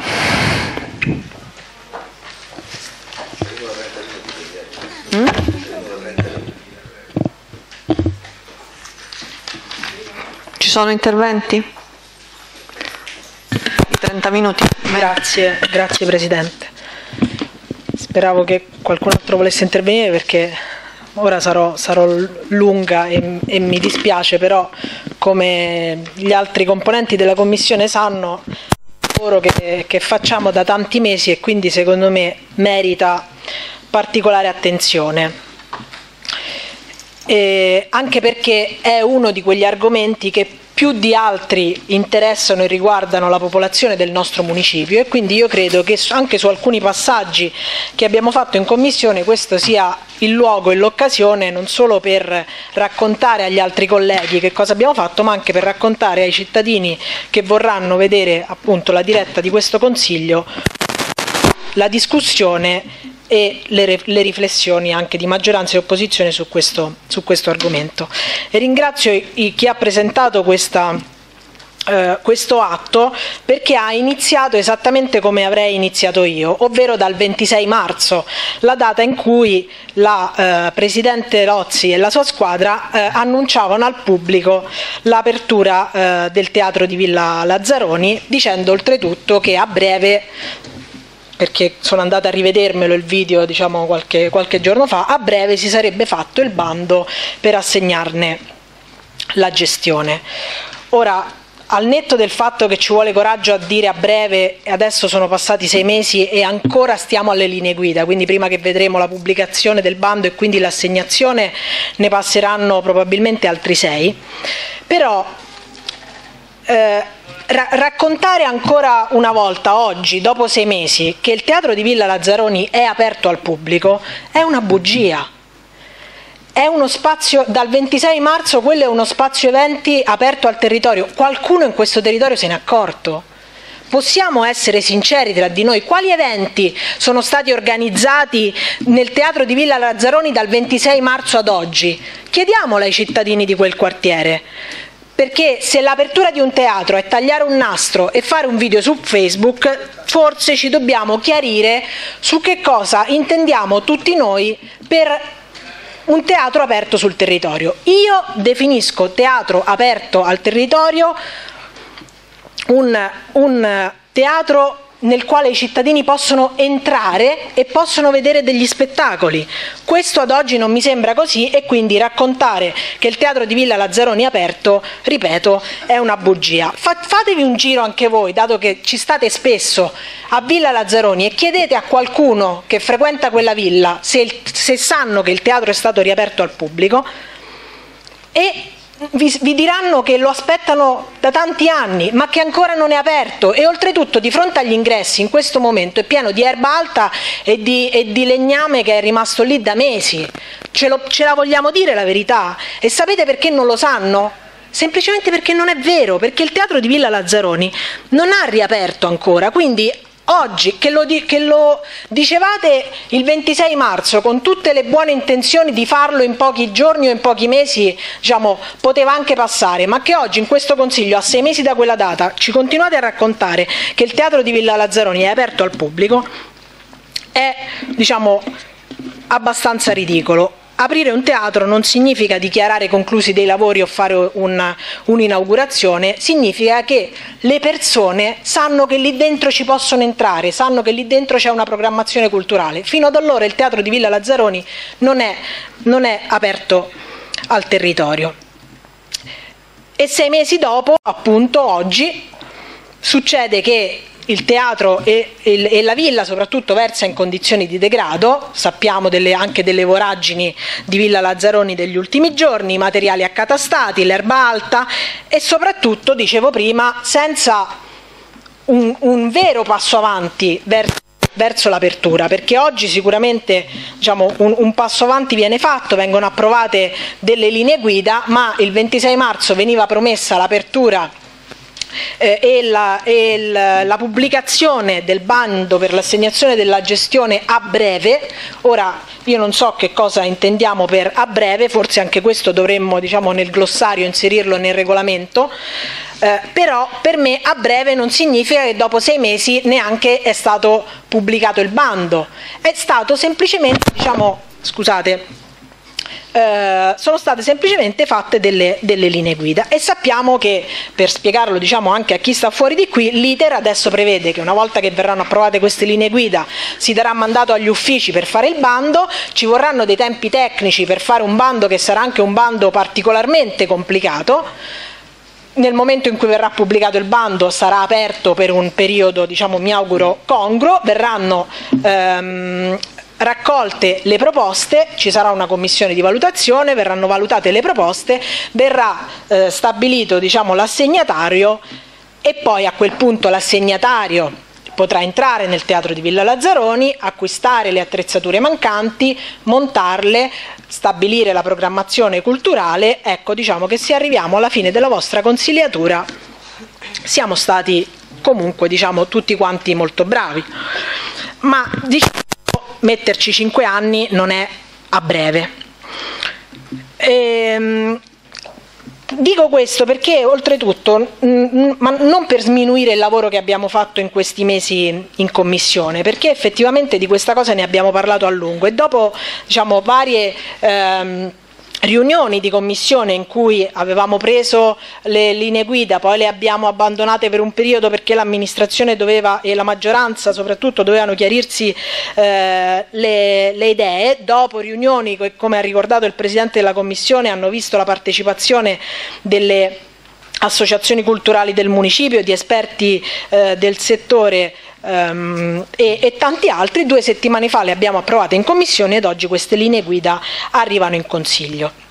Ma per, per diciamo appunto spiegare che cosa intendiamo per linee guida perché se no poi domani qualcuno va, va, in giro per il territorio a dire che è stato fatto il bando per l'assegnazione del teatro di Villa Lazzaroni non è così perché le linee guida sono diciamo correggetemi se sbaglio una sorta di eh, vademecum delle linee di indirizzo con cui la politica dà le indicazioni agli uffici municipali per scrivere e poi per pubblicare il bando per la gestione del teatro, ovvero rappresentano un, un passaggio fondamentale perché diciamo, eh, vengono elencate le priorità che disegnano l'impianto, la, la visione, l'idea che questa amministrazione e questa maggioranza ha delle politiche culturali del, del municipio.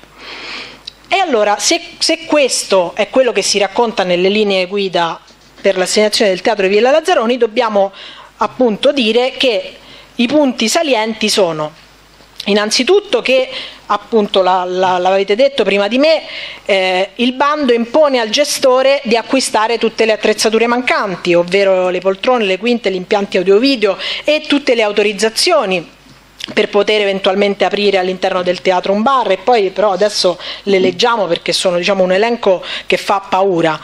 Ehm, e diciamo Alc- alcuni dicono, prima il consigliere Ciancio diceva 70-80 mila euro, altri dicono 100, 120, 150. Io mi scuso a nome di, di, questo luogo nei confronti di chi ci sta guardando per questa vaghezza che noi ancora oggi, dopo appunto sei mesi, abbiamo rispetto alla, alla stima della spesa che deve essere fatta all'interno del, del teatro di Villa Lazzaroni per renderlo utilizzabile perché? Mi scuso di questa vaghezza perché in questi due anni comunque non siamo riusciti a fare un piano economico finanziario che rendesse evidente quali fossero le spese da sostenere, i costi fissi che il gestore dovesse sostenere inizialmente, gli investimenti da fare, le potenzialità eh, di, di, mh, mm, eh, economiche e quindi di, di mh, guadagno del, eh, del teatro, eh, un piano finanziario che indicasse quale dovesse essere il costo massimo dei biglietti per un teatro che deve rimanere un teatro di quartiere, insomma un approfondimento che noi abbiamo chiesto tante volte in commissione che valutasse la sostenibilità economica di questa sfida che ci trova d'accordo ma che senza numeri diciamo, ci fa parlare un po' di aria fritta. Oltre diciamo, a, a, a, a, questo impegno lo, non, vo, non, so a questo punto se dire il fortunato gestore o forse più lo sfortunato gestore dovrà anche corrispondere al municipio un affitto mensile che oltretutto nelle linee guida ehm, viene esplicitato che, no, che, scusate, ecco, che il criterio di selezione dell'affidatario è, rispetto all'offerta, è un'offerta migliorativa rispetto al canone di affidamento, quindi anche a rialzo rispetto a quello che sarà stabilito il canone di affitto. Chi ci può pagare di più allora potrà, avrà più punti per, per, gestire, eh, per gestire, il teatro.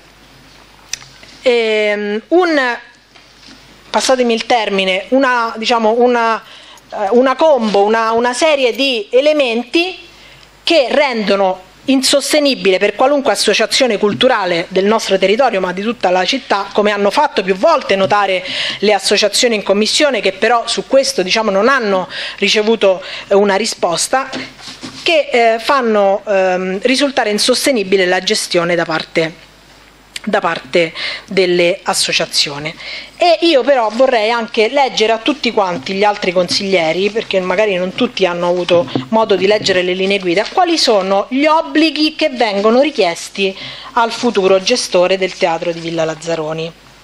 Perché appunto è un elenco che fa paura. E se fa paura a noi, figuriamoci diciamo, al tessuto associativo di questo municipio. Allora, dovrete avere pazienza.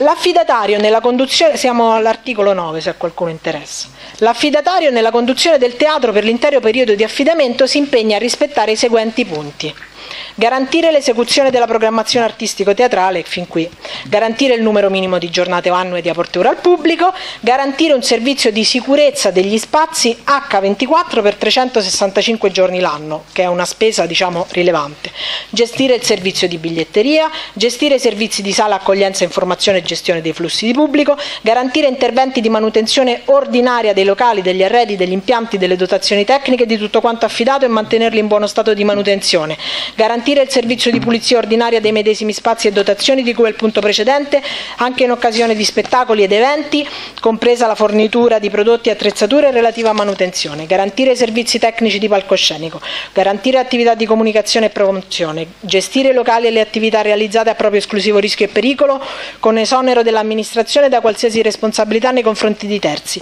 attivare o volturare tutte le utenze, comprese quelle telefoniche di connettività DSL necessarie, pagare la Tari, verificare e monitorare periodicamente impianti e attrezzature secondo le cadenze temporali previste ex legge, fornire servizi di gestione delle emergenze e manutenzione ordinaria antincendio, dotarsi di tutte le autorizzazioni necessarie in caso si voglia utilizzare lo spazio per la somministrazione di bevande. Buona fortuna.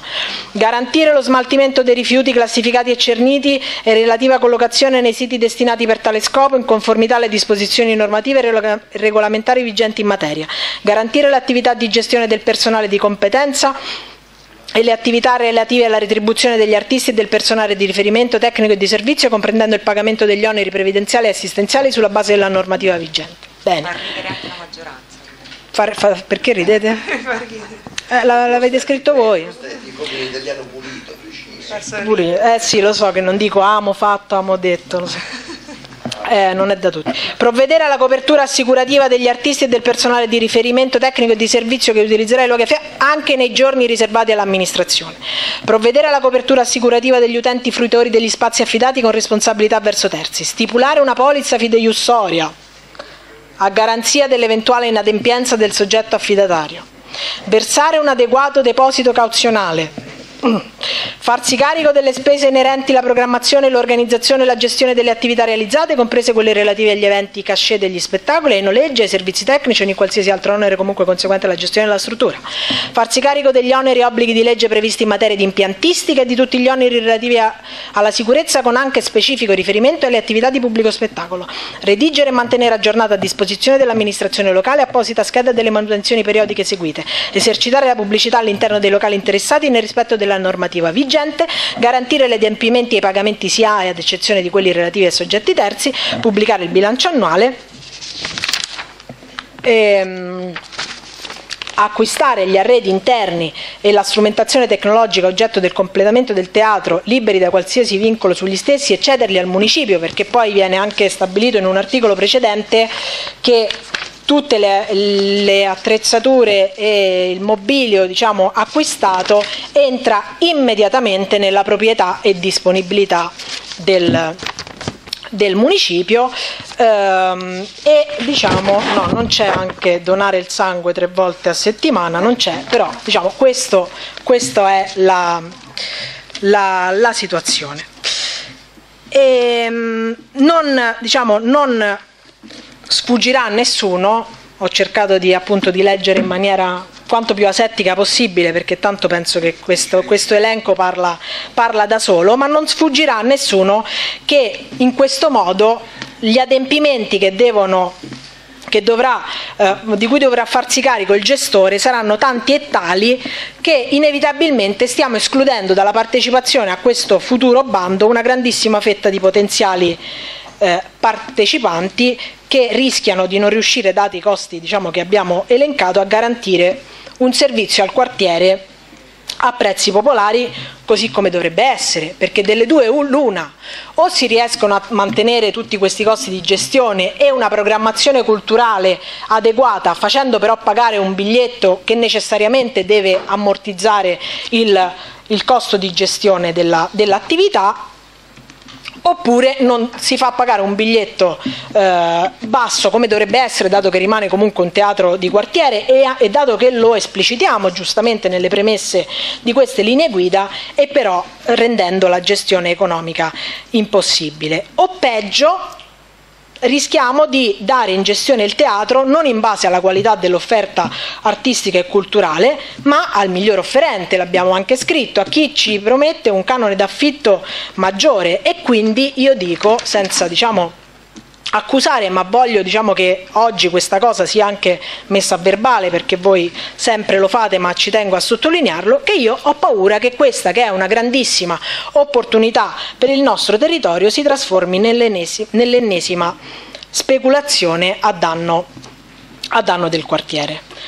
Come facciamo a garantire una programmazione culturale che risponde, a, lo, lo, lo, vedo anche dalle linee guida, allo sviluppo culturale del territorio e che risponde al disagio sociale, al disagio giovanile, eh, non riuscendo a garantire dei prezzi calmirati e quindi una funzione di pubblico servizio a questo teatro, ma c'è di più per le associazioni del, del municipio, perché nelle linee guida viene anche eh, esplicitato che le associazioni del territorio, quelle iscritte al, al, nostro registro, che hanno partecipato alle commissioni e che chiaramente diciamo, eh, hanno sempre esposto la necessità e la mancanza di spazi culturali nel quartiere in cui poter svolgere le loro attività, motivo per il quale sono sempre state invitate perché dovevamo riuscire a rispondere anche a questo tipo eh, di esigenza, dovranno, seppure a prezzi contenuti, corrispondere un affitto per l'utilizzo della sala. Ma ora io capisco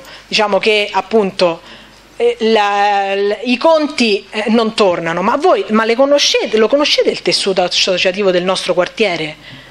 Secondo voi loro si lamentano di non avere una sala in cui poter fare le prove musicali, teatrali, eh, ma possono pagare l'affitto al teatro di Villa Lazzaroni per quanto a prezzi calmierati? Il tessuto associativo di questo territorio è fatto da persone volontarie che spesso ci rimettono i soldi di tasca propria con, con risorse private che di certo non riusciranno a, ad usufruire di questo servizio che pure nelle intenzioni di questa amministrazione era dedicato al, appunto, al tessuto associativo. Allora ci dobbiamo chiedere se le nostre intenzioni poi vanno incontro effettivamente alla domanda che c'è sul territorio e alle possibilità. Io credo anche in questo caso che questo, che questo non, non sarà così. Aggiungo altre cose che come sapete ho già avuto modo di dire, di dire in commissione. Quanto tempo ho, Presidente?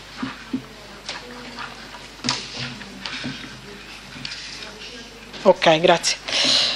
Ecco, poi dal punto di vista della partecipazione del territorio. Va bene il comitato consultivo che citava il Presidente, speriamo diciamo, riesca a funzionare perché poi le modalità elettive sono piuttosto complicate, ma io in questo non entro perché se, se, se invece ci riusciamo tanto di cappello, ma dal punto di vista della partecipazione del territorio le linee guida vietano all'interno del teatro l'organizzazione di eventi, dico io seppure a pagamento, di carattere religioso, politico e sindacale, con a, mio avviso una censura pericolosa e seco, rispetto a delle ehm, organizzazioni che esistono nella nostra Costituzione. Faccio degli esempi.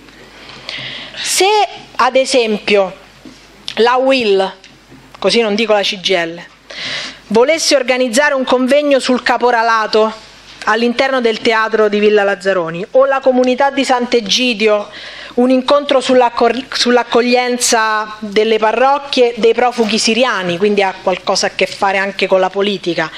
Non potrebbero farlo e quindi il territorio verrebbe privato di ulteriori opportunità di crescita culturale perché le associazioni sindacali e i partiti politici, anche se non vi piace, stanno nella nostra Costituzione.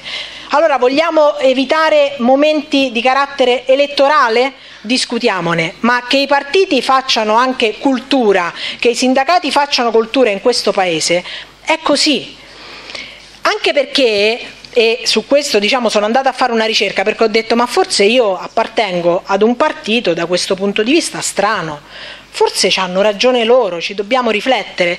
E però il, a gennaio 2018 al Teatro di Milano Di Maio ha fatto un evento politico con tanto di merchandising.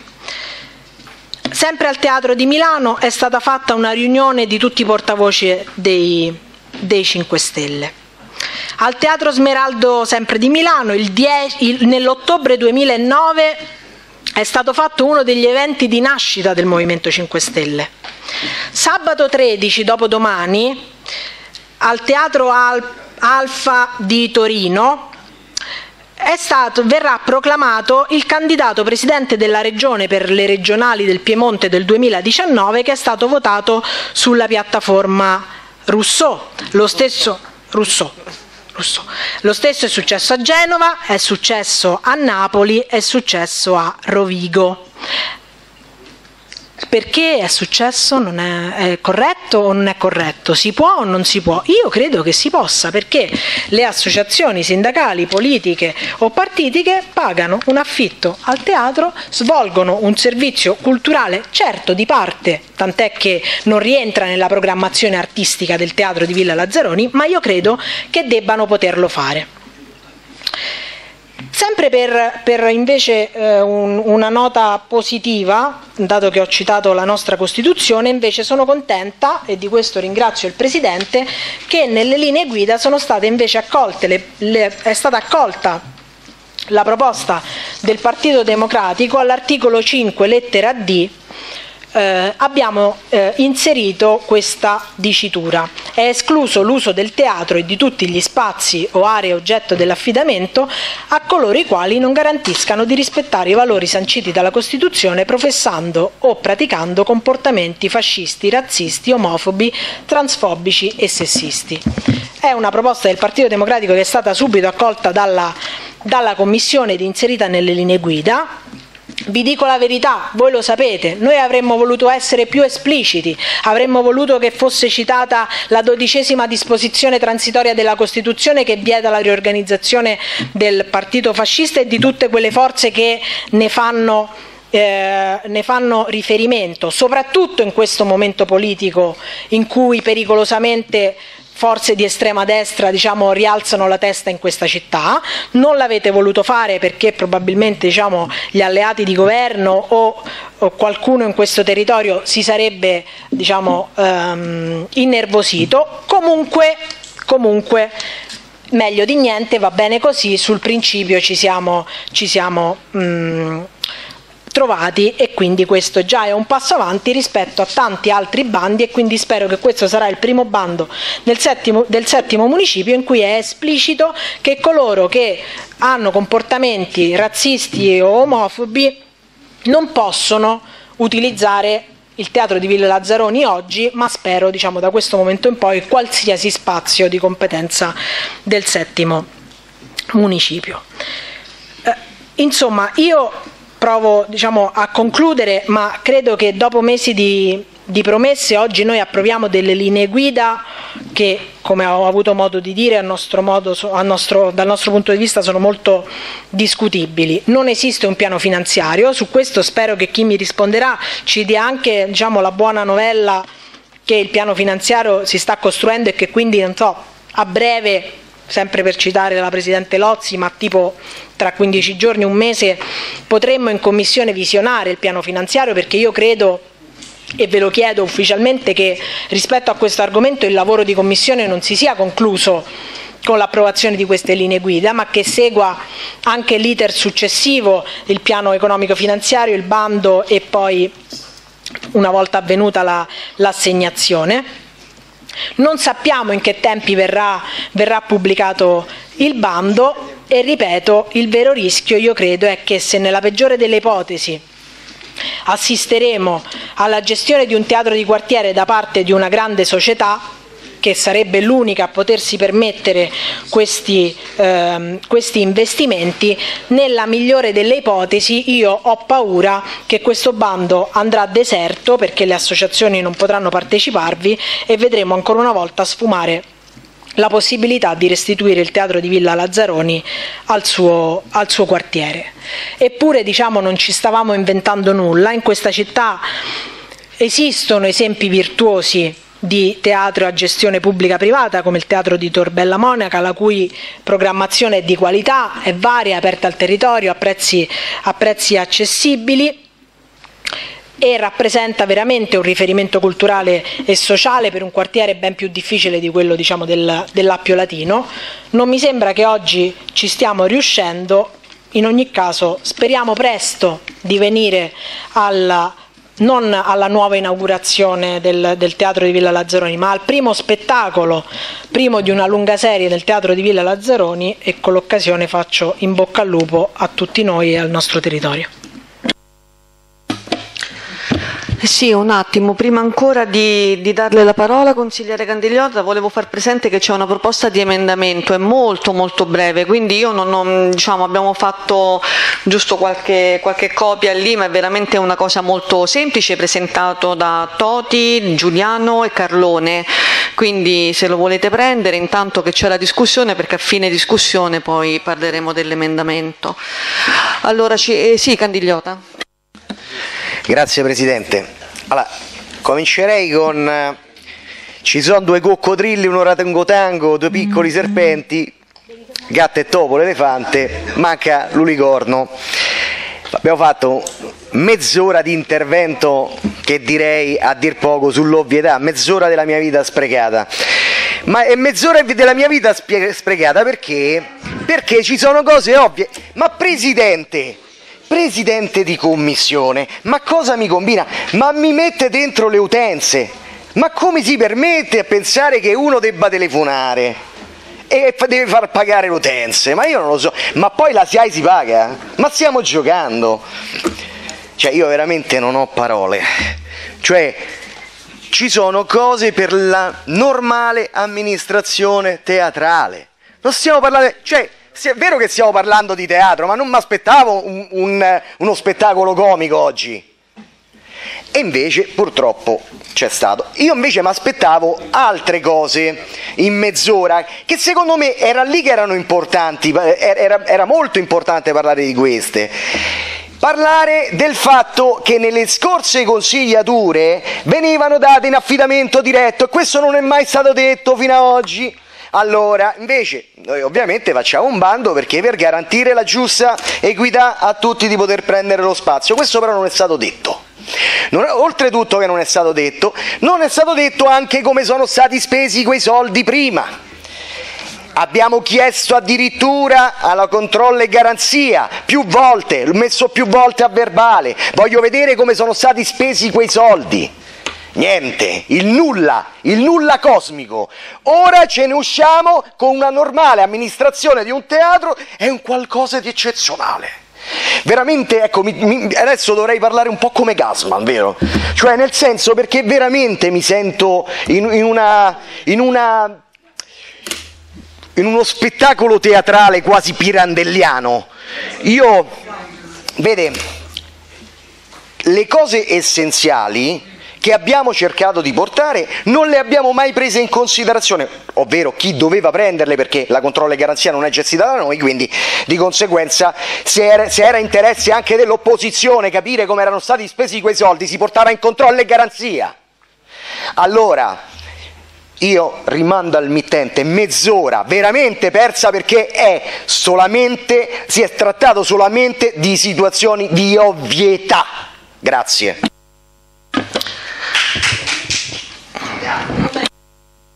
Avanti, evitiamo questi, consigliere Biondo, evitiamo. Allora andiamo avanti, ci sono eh, degli interventi? Va bene, entriamo nel teatro e facciamolo, posso? Ah caspita, lei no come Gasman, proviamo No, come sordi? Come Brignano. Come Brignano, vada?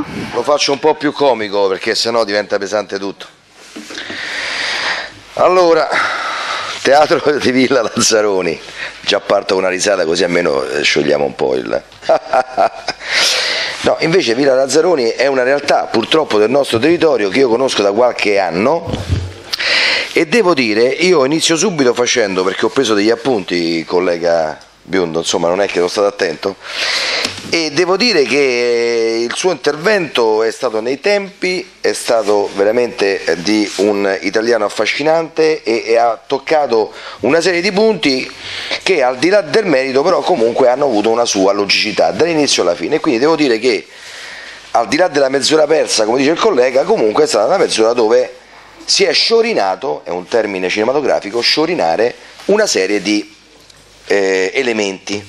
Certo poi tra dirli e condividerli ci può essere certo un'ampia, un'ampia discussione. Un elemento però che lei non ha a favore, collega, ma non è colpa sua, è che lei fa parte di un partito che fino a ieri qui ovviamente ha gestito, governato e non ha mai aperto il teatro. Quindi se lei ha detto tutte cose giuste, potrebbe dire ma che mi fate di a me che io vengo in aula che prima non avete fatto niente, giustamente? Oh. No, no, no, ma dico che lei viene dopo, dice no, pure io. Non facciamo dialogo, consigliere No, non è un Giuliano. dialogo, sto consigliere- parlando fra me e me. Ah, e allora consigliere No, no. Biondo non risponda. Sto parlando fra me e me, non, ho- non sto interpellando la collega. Eh lo so, però ha ragione, ha ragione. Però voglio dire, lei giustamente chi di dovere mi dice, mi dice, ma io non c'ero prima, no? Ehi, collega, colleghe. Consigliere Toti, Dice, ma andiamo io non avanti. c'ero prima, giustamente, che colpa ce n'ho io del PD di qualche anno fa? E io che colpa ce n'ho del fascismo di 40 anni fa? Però mi dicono che sono fascista. Ma comunque, detto questo, perché è giusto che da lì io voglio entrare nel merito dell'intervento fatto e, e quindi ci sono delle cose che vanno, che vanno comunque messe in evidenza. Allora, tra il dire e il fare, no? si dice sempre c'è di mezzo il mare. Allora, teoricamente si può fare tutto, praticamente è più difficile fare qualcosa. Come Fratelli d'Italia noi ci siamo trovati ehm, nel percorso dei vari lavori di commissione e quindi quella, la commissione del presidente Giannone e del Guido Roi che sta vicino, che comunque abbiamo fatto un lavoro dove non è che è partito automaticamente l'approvazione, c'è stato un percorso. C'è stato un percorso che ci ha reso partecipi e se oggi, non avendola preso la mezz'ora, devo essere un po' più veloce, e se oggi Fratelli d'Italia si è trovata vicino a questo modus operandi, è solo perché tra quello che c'era prima e quello che ci può essere oggi, noi proviamo ad avvicinarci a quello che ci può essere oggi. Cioè tra il nulla di prima e forse il grande punto interrogativo di oggi, io preferisco andare nella direzione del grande punto interrogativo. Perché? Perché, cara consigliera che lei prima ha fatto l'intervento e ho apprezzato veramente, non, non lo dico con eh, retrosia, perché purtroppo chi fa politica sul territorio si trova spesso e volentieri a dover analizzare quello che succede. E allora non si può sempre dire no, poi dopo è colpa di chi ci ha preceduto, oppure la colpa è stata del presidente, oppure la colpa è stata di chi ha gestito, perché io ricordo che la presidente che ha gestito nella scorsa consigliatura questo municipio non si è mai creata problemi nel fare degli affidamenti diretti. Per esempio, che ne so, il casale di Tor, di Tor Fiscale non mi sembra che sia stato messo a bando. Oppure quello della Caffarella, oppure nel via Botero dove c'era quella palazzina dove io sono andato a fare un'intervista, ho detto ma chi apre qui? Apre la Presidente, chiude il municipio e ci sono tutta una serie di cose. Quindi forse probabilmente è diverso il modus operandi di cui no? Poi non parliamo per il grande scandalo che io non conoscevo perché prima facevo parte del decimo, no? dell'ex decimo, ma oggi facciamo parte del settimo, della quella famosa novella, quella famosa storia che è durata 15 anni del circo degli artisti. Voglio dire, insomma, c'è stato tutto e di più. Ora però dici, nel fare questo bando siamo stati, cioè la commissione è stata molto dura, molto precisa, molto eh, ingessando tutto questo tipo di discorso. Quindi anche trovandoci così, la consigliera ha detto, anche trovandoci d'accordo, però certo questo, il vestito fatto intorno è molto pesante e questo è un ragionamento che si può ragionare. Fratelli d'Italia su questa cosa è stata anche critica e dirò di più, è testimone il Presidente di Commissione e anche qualche altro commissario che io ho detto come si fa a sapere quanto ammonterà l'importo che qualcuno dovrà sopportare nel dover partecipare a questo bando, sia per la parte teatro, sia per la parte ristoro, perché non c'è da dimenticarsi la parte ristoro. Allora, se parliamo di cifre che stanno intorno ai 20.000 euro, dico una baggianata, può, può essere una cosa abbastanza sostenibile, ma se parliamo di 200.000 euro diventa un problema, diventa un problema. E questo l'ho detto al Presidente della Commissione, vengo e ti rispondo, non mi fa domanda ma ti rispondo.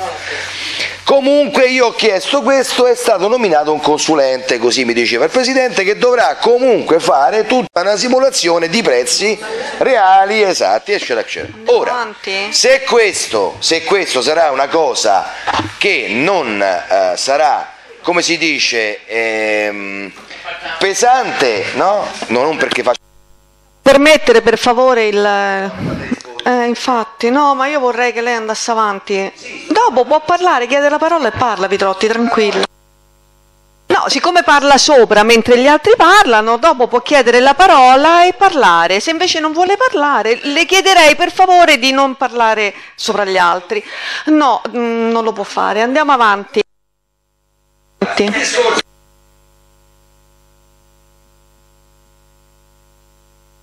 Ah, mi fate pure il boicottaggio. E non perché sia da parte della maggioranza o meno, perché se questa cifra ammonta ad una diciamo, ad una quota molto alta, è normale che nessuno parteciperà e quindi questo discorso verrà meno e se verrà meno bisognerà comunque ridimensionare, riconvergere, rimodulare tutto, tutto il meccanismo. Però se invece questo possa essere sostenibile, noi avremo la possibilità, e quindi ecco il modus che Fratelli Italia ha diciamo, approvato è quello di poter partire immediatamente cercando di mettere subito, da subito all'opera il teatro con un intervento esterno che comunque essendoci sarà ancora più culato e ancora più responsabile di chi ha preso oggi le cose senza aver pagato nulla e neanche ce l'ha ridate perché dico sempre per far capire, per mandar via il circo degli artisti ci sono avuti 15 anni, poi dopo 15 anni te lo lasciano ma tutto quello che hai messo in tasca intanto hai messo, poi viene a che non è stato così, quindi voglio dire cambiamo modus, poi quello che lei ha detto consigliera ci può, si può lavorare, si può diminuire, si può come si dice armonizzare, si può modificare, si può comunque rendere meno pesante, però intanto lo schema è quello che non è che noi dobbiamo far partecipare le associazioni che conosciamo. Io conosco da associazioni ma che non potranno partecipare, ma non mi crea un problema. Cioè io non è che mi devo creare il problema per le associazioni culturali che conosco e possono partecipare. Qui stiamo parlando di qualcosa stiamo parlando di qualcosa capito, eh, consigliera comunque... Biondo, poi fa ma Consigliera sì, Biondo, non è un dibattito che lei piace o meno, non è un dibattito, no, lasci il tempo di parlare. L'ho nominata. Ma infatti, consigliera Biondo, se vuole potrà rispondere. L'ho nominata apposta perché mi fa piacere se risponde. Però ah. dico, non, non, dobbiamo crearci questo, questo scrupolo, perché non possiamo fare le cose solo per alcune situazioni. Dobbiamo far sì che questa struttura venga messa in opera e che venga comunque gestita nel miglior modo possibile. Certo noi non abbiamo la palla di vetro e non siamo maghi, perché se facciamo i maghi stavamo qui, però possiamo comunque essere promotori di. E ripeto, quello che era e quello che sarà, a me comunque il dubbio mi dà sollievo perché se vado indietro a vedere quello che è stato giustamente già so dare una decisione. Per non essere negativo completamente per cercare di capire dove si può arrivare, si deve essere un po' propositivi per questo tipo di lavoro per cercare appunto di trovare una soluzione per far iniziare un percorso.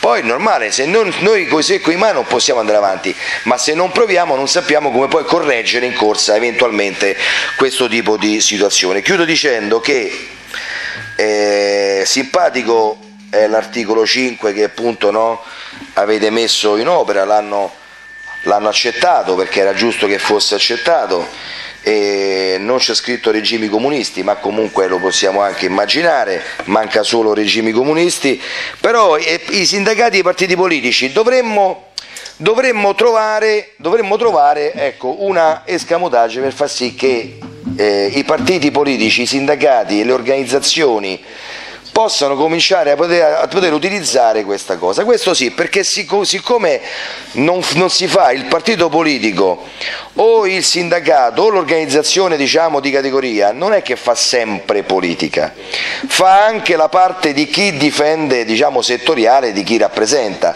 Quindi avere uno spazio per poter rappresentare i propri No, i propri diciamo, iscritti, le proprie problematiche, che ne so, diciamo, eh, la propria categoria, io su questa cosa ho una positività, ci potrebbe essere eh, una, una, possibilità, certo che non vada a intaccare nella programmazione no, quella diciamo, che è dovuta dal, dal, bando, quindi dalla parte teatrale eccetera eccetera, però negli spazi previsti anche dall'amministrazione, cioè dei giorni che rimangono all'amministrazione, ci potrebbe essere un qualcosa, troviamo, troviamo il modo di correggerla questa cosa qui, troviamo il modo di correggerla, ma la parte, la parte, la parte eh, sindacale, la parte organizzativa, di organizzazione settoriali di alcuni settori, di alcune parti, particolari eh, categorie, secondo me devono, possono avere degli spazi se non dentro Villa Lazzaroni ma anche in altre strutture ovviamente che comunque possano dargli la possibilità di eh,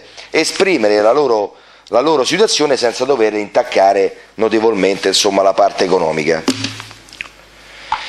Grazie, grazie per lo spettacolo, grazie per l'audizione.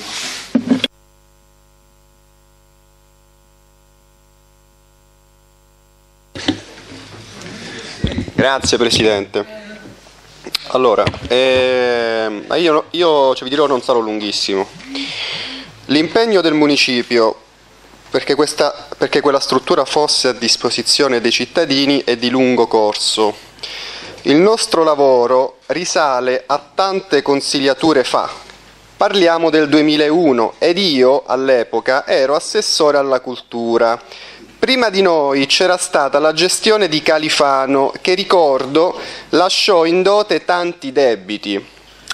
Allora organizzandoci con Ascanio Celestini ed altri artisti, provammo dapprima a tenere in vita la struttura, poi mi impegnai a trovare dei fondi per sistemarla. Ci fu un primo stralcio e poi un secondo, terminato di recente. Purtroppo però non è stato sufficiente per riportare il teatro in funzione. Al secolo Susanna Fantino. Cioè, è Ah, ah no, scusate, Susana Fantino. Allora, ehm, quando era assessore alla cultura, l'ex presidente del municipio, parliamo del 2001, ha iniziato a lavorare con Ascanio Celestini e altri artisti di varia fama, eccetera, eccetera, per aprire un teatro affidato con... E, è affidato in precedenza direttamente a Franco Califano che ha lasciato una marea di debiti. E parliamo degli anni 90 con Califano Fantino assessore cultura correva l'anno 2001, è stato presidente, c'è stato presidente fino al 2016. Essenzialmente sono 25 anni che questo teatro è chiuso, 25. E, ehm, sono stati spesi fondi pubblici come e ha, e ha le stesse riferito in questa citazione, sono i, i fondi di cui tanto si è parlato, sono più o meno 870 mila euro per la prima tranche di lavori la seconda, il bandestro bloccato, che era quello sulla fornitura degli impianti audio-video e delle sedute. 870.000 euro e il teatro è chiuso, di fondi pubblici. Eh. e mi vengono un sacco di domande in mente che non sto qua perché già l'abbiamo detto in commissione, perché già ce lo siamo raccontati. E, mm, quindi in realtà io su questo non è che voglio dire granché di altro, comincio a dire però un'altra cosa. Noi di solito agiamo tramite bando, che può sembrare una cosa assurda. Penso sempre a Califano, penso al Circo degli Artisti. Adesso c'è il magistrato sul Circo degli Artisti. Sì, perché pare che abbiano anche sotterrato dell'amianto sotto, sotto le strutture archeologiche. Non... Cioè, c'è, c'è una cosa abbastanza strana. Sì, e noi agiamo tramite bando, abbiamo fatto delle linee guida che sono durate mesi in commissione con la partecipazione del territorio, oltre che nostra naturalmente, per cercare di dare un'alternativa al di fuori dell'affidamento diretto, classica, dei partiti, anche se hanno cambiato format, ma sempre quello era, forme con cui sono stati affidati questi beni culturali, anzi queste strutture, questi impianti culturali in passato. E abbiamo lavorato così bene.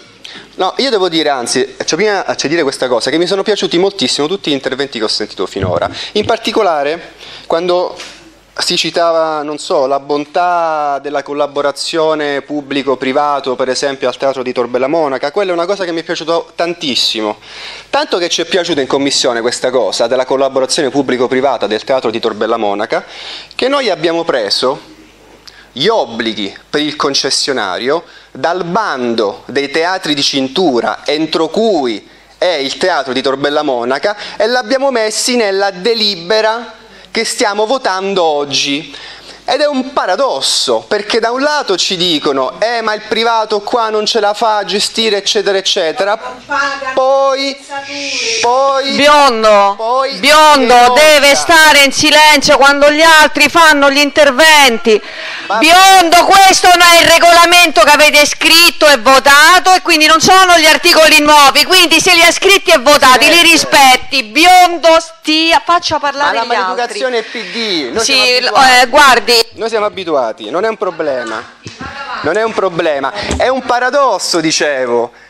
Come si fa a elogiare una forma di gestione pubblico-privata quando le stesse forme pubblico, eh, cioè, cioè private con gli stessi impegni che spettano al concessionario sono quelli che noi abbiamo inserito all'interno della delibera. Se ci pensa, Presidente, cioè, parliamo di teatro, questa è una cosa comica, anzi, mi scusi, eh, Presidente, tragicomica, perché siamo più verso la tragedia che verso la commedia. È fantastico, è fantastico. Ma poi è stato tutta una serie di esempi, uno più divertente dell'altro, perché il, concessionario, perché il concessionario poteva fare questo, questo, questo, questo, pagare le utenze, volturare, gestire i dipendenti. Ma un privato qualsiasi che gestisce una struttura teatrale, ma non sono queste cose che deve fare, è la normale gestione la normale amministrazione. Ma di che parliamo? È tutto molto divertente, tutto moltissimo, moltissimo. Altra cosa ho sentito dire che i partiti politici, siccome non sono ammessi a fare propaganda politica all'interno del teatro di Villa Lazzaroni, che è un teatro pubblico, non come quell'altro esempio che ho sentito prima, il teatro di Villa Lazzaroni è pubblico, non è privato. Punto uno. Punto due, ho sentito che stiamo andando contro la Costituzione, Presidente, e qui, e qui si apre il sipario della comicità assoluta, no? Solo perché stiamo dicendo che per noi la cultura è laica e non vogliamo propaganda politica all'interno del nostro spazio culturale pubblico come non vogliamo proselitismo religioso, ad esempio. Che cosa vuol dire quindi? E io vi pongo un quesito e la butto là questa domanda. Questa è una cosa che già ho detto in commissione, poi non so chi c'era, chi non c'era. Cioè non so se è stata colta perché oggi è stato ribadito lo stesso dubbio. Quindi io penso sia un dubbio no, a beneficio della telecamera evidentemente, perché già stata, eh, c'è data risposta su questa cosa con l'esempio che sto per fare adesso. Sapete che, no, che è illegale la propaganda politica, anzi scusate, illegittima, la propaganda politica all'interno delle scuole pubbliche. Ma mi viene un dubbio, Presidente, ma non è che tutto il sistema scolastico nazionale è anticostituzionale? Ce l'ho sto dubbio che mi balena. Strana questa cosa, vero? Le università pubbliche è vietata attività politica e propaganda all'interno delle stesse, tranne quella interna, perché l'università ha una sua strutturazione con un suo senato accademico, eccetera. Neanche lì possono entrare. E vi dirò un'altra cosa, che secondo me bisognerebbe agire su questo fronte anche con i centri anziani. Sta per uscire un regolamento, chissà, non si sa mai. Mannaggia. È bellissimo. È tutto molto divertente. È tutto molto divertente. Quindi sappia, Presidente, che, che, vietare la propaganda politica all'interno di uno spazio culturale che ha valore sociale puro, come pura la cultura, no? È anticostituzionale. Sì, il microfono c'è, c'è, c'è il microfono, è il microfono. Adesso andiamo a dire a tutti i presidi, ai dirigenti scolastici, al ministro, ai dicasteri, eccetera, eccetera, che sono da quanto? 70 anni? Sono da 70 anni anticostituzionali, 60, 50, 20, 10, due mesi. Cioè, da quando è stata promulgata la Costituzione loro sono anticostituzionali. Evidentemente.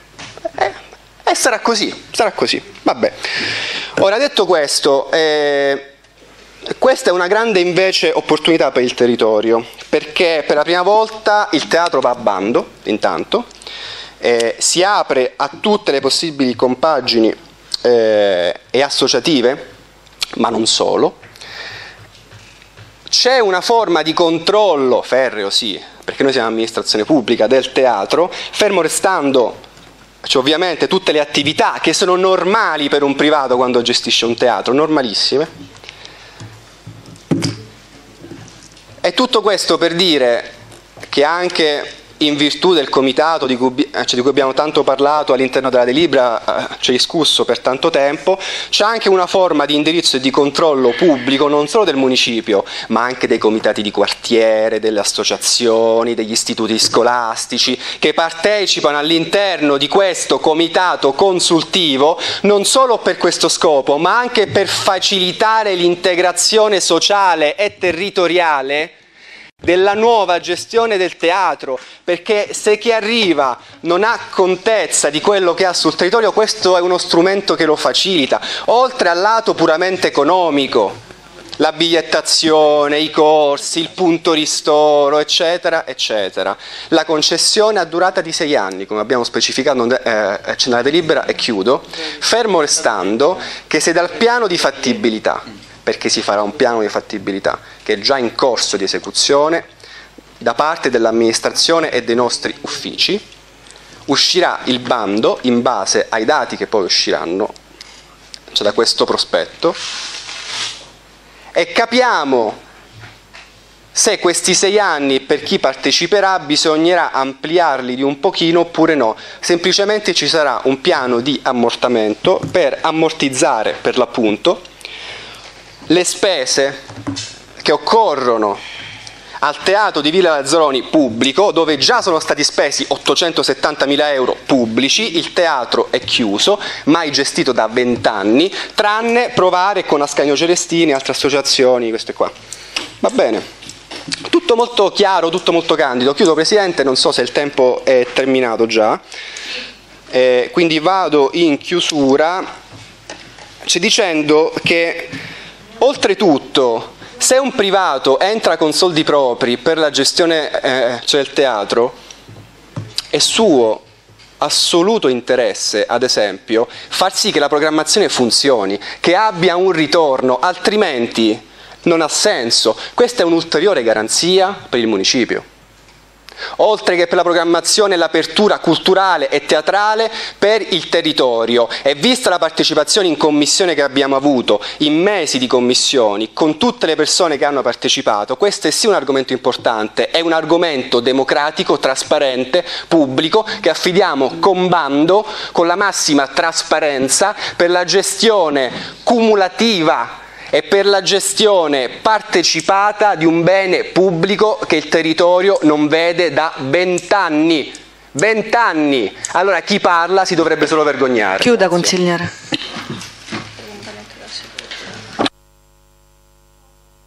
Altri interventi? Consigliere Toti. Se noi parliamo con eh, i cittadini dell'Appio, soprattutto i cittadini dell'Appio, ma anche quelli ormai di, Cinecittà che sono unificati con noi nel nuovo settimo municipio, una delle cose eh, che penso più ci eh, eh, rimproverano è il discorso, oltre lo stato d'abbandono della villa, ma soprattutto ci rimproverano la vergogna, lo spreco di un tesoro come quello del teatro di Villa Lazzaroni, a me dispiace perché ricordo bei tempi, gli anni 78, quando il Comune di Roma, eh, io da sempre sono nato in questo territorio e ho sempre abitato in questo territorio, nell'Appio, oggi settimo municipio, quando eh, il Comune di Roma acquistò questo bene molto importante, anche costoso, non ce lo regalarono, e quando si trasferì la sede da via Tuscolana 176 la trasferimmo eh, nell'80 con il presidente Peroni del Partito Repubblicano Italiano, la trasferimmo a Villa Lazzaroni, per ricordare, che fa piacere. Ma dicevo, questi sono, eh, diciamo, e voglio ricordare, cose belle con l'acquisto, il trasferimento di una sede che era molto impropria quella. E poi purtroppo i soldi buttati, la pessima gestione, veramente cioè, i cittadini la vedono, eh, lo vedono il teatro l'hanno visto in questi anni e ci hanno chiesto sempre ma che fine ha fatto il teatro? Perché non lo aprite? E purtroppo io comunque, anche se dall'opposizione ero consigliere dell'ex nono municipio, dovevamo rispondere e, dovevamo, e, e eh, rispondevo rispetto ai sbagli che furono fatti nel passato. Io dico che oggi io penso che alcuni paletti ben precisi in questa delibera sono stati messi. Non a caso sia io come Forza Italia che anche gli amici di Fratelli Italia abbiamo firmato questa uh, proposta di delibera. Ci abbiamo lavorato molti mesi in commissione e abbiamo lavorato non soltanto noi della Commissione, ma abbiamo lavorato con le associazioni del territorio, con i comitati di quartiere, era presente più volte il comitato Appio Aberone, il comitato Tuscolano Villa Fiorelli, altre associazioni che hanno dato, altri comitati anche, che hanno dato un loro contributo forte rispetto alla costruzione di questo percorso che oggi è la delibera che noi andiamo ad approvare. E eh, questo lavoro l'abbiamo fatto insieme, io voglio dire tutti i consiglieri, abbiamo collaborato e abbiamo dato delle indicazioni, dei consigli, abbiamo eh, condiviso anche con la maggioranza eh, alcune proposte. Senz'altro proposte che hanno al centro lo sviluppo culturale, socioculturale del territorio, l'integrazione che è un momento anch'esso importantissimo, l'apertura alla cittadinanza e all'associazione. Ecco, uno dei punti che mi hanno convinto a eh, mettere la firma eh, sotto, eh, sotto questa delibera è proprio questo.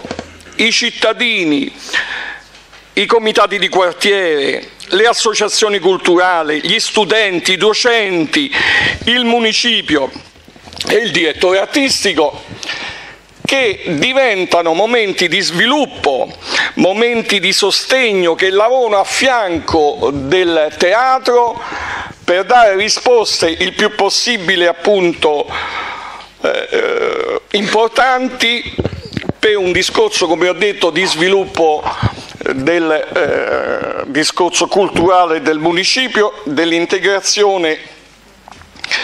E ho detto punti fermi perché per me il discorso della programmazione delle attività, l'obblighi dell'affidatario, i criteri premianti sono stati messi punto per punto e questo invece io penso che sia fondamentale, quello di puntualizzare punto per punto tutti gli obblighi, perché forse nel passato se avessimo fatto queste cose avremmo avuto dei risultati diversi, ecco perché prima erano state date alla buona, forse per il buonismo imperante che, dava, che, ha dato purtroppo non soltanto su questo, anche su altre, su altre cose, risultati disastrosi a livello nazionale, cittadino, municipale.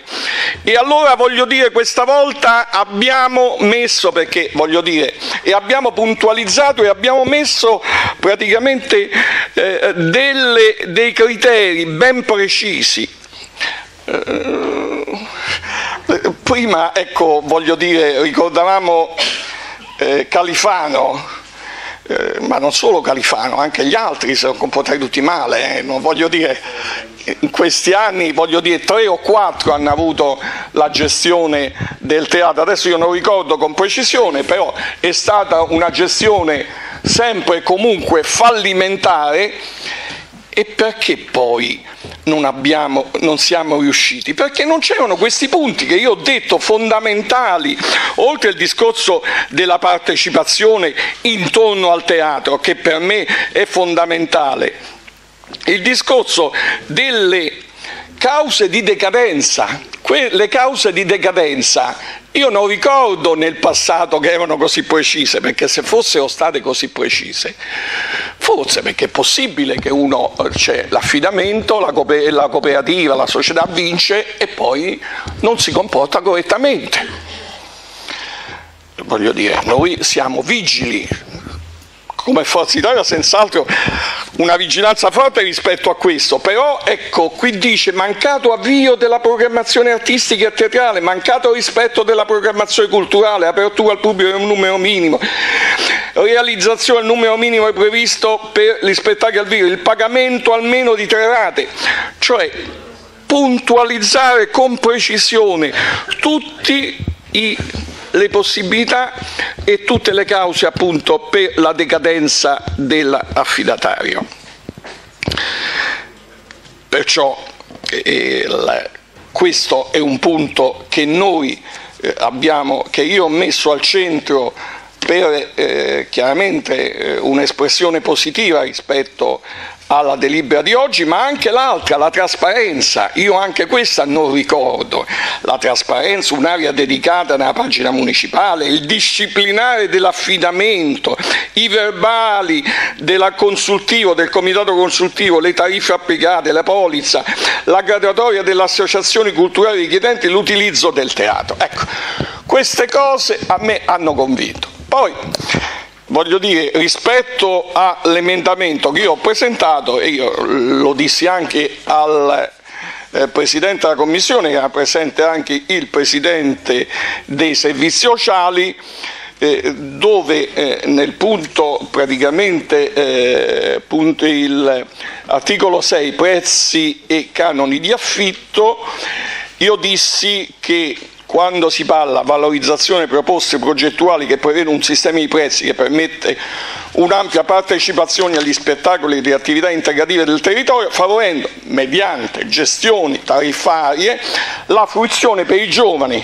gli studenti e le categorie sociali più fragili. Io feci presente che sarebbe stato utile inserire gli ultra 65 anni come normalmente eh, diciamo che per gli spettacoli, per le manifestazioni eh, sempre è previsto questo, c'è un, eh, poi un riconoscimento questo, però il Presidente della Commissione Servizi Sociali mi ha rassicurato dicendomi sì però rientra nel discorso dei soggetti fragili io ho dei dubbi rispetto a questo.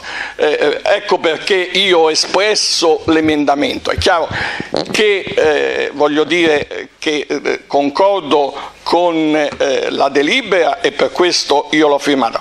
Su questo magari ci potrebbe essere maggiore precisione, ecco, soggetti, soggetti ecco, io non so se poi chi prenderà in mano eh, eh il teatro avrà quella sensibilità particolare di inserire fra i soggetti fragili anche gli anziani, però ecco, eh, se manca questa sensibilità, ecco, a posto io ho voluto ecco, Presidente della Commissione Servizi Sociali, voglio dire, l'ho firmata, ho voluto eh, essere più preciso e eh, mi farebbe piacere che fosse più precisa l'indicazione in, in, nella, nella delibera eh, che praticamente eh, dà un'indicazione, come ho detto, più precisa all'affidatario rispetto a anche gli ultra 60. Tempo scaduto. Sì, sì, Ah, finito. Allora, volevo eh, farvi notare che è finito anche il tempo previsto per la durata del Consiglio, quindi se siete d'accordo andiamo avanti. Siamo tutti d'accordo? C'è qualcuno contrario? Ok, andiamo avanti. Fino a chiusura sono rimasti altri... Sì. Allora, ci sono altri interventi?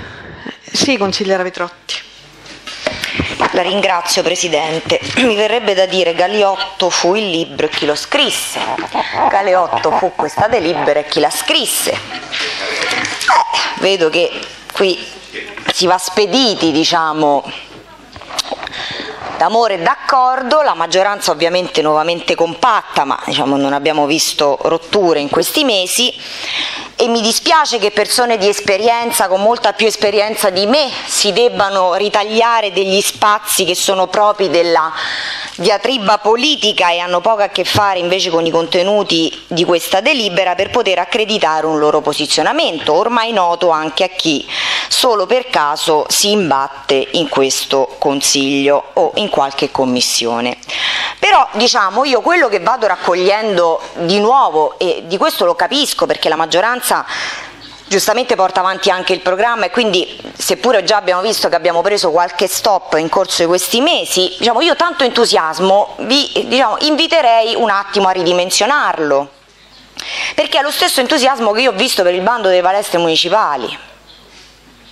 Siamo in proroga, proroga, proroga. Io lo stesso entusiasmo l'ho visto per tante altre attività di carattere culturale come la programmazione tutta la delibera che è andata così, stata decantata così tanto in quest'Aula, in cui non abbiamo visto diciamo, una grande esplosione di cultura nel settimo municipio, grandi eventi che diciamo, la cittadinanza ricordi a nome di quella delibera e poi mi fa piacere che ci sia qualcuno sempre attento a quello che succedeva negli anni precedenti, accollandoli anche diciamo, a chi è qui oggi e se l'è già accollata la sua parte di responsabilità, però io invece di fare allusioni, lo dicevo la scorsa consigliatura quando noi eravamo in maggioranza, invitavo invece di fare allusioni in aula di andare alla Procura della Repubblica perché anche basta di far trasformare quest'Aula in un, in un tribunale, perché poi scopriamo, io ringrazio il consigliere Giuliano perché è sempre molto informato e abbiamo scoperto che anche in questo momento c'è un consulente che si sta occupando di tutta questa pratica e di, di valutazione dei costi. Molto utile, lei è sempre utile, però siamo tutti utili e nessuno è indispensabile, quindi si faccia le Andiamo, facciamo fare questo intervento. Detto ciò, andrei avanti perché poi basterebbe scrollare, come si dice oggi in gergo digitale, ehm, le delibere, le determine dirigenziali che ci sono sul nostro sito e scopriremo degli affidamenti diretti anche oggi.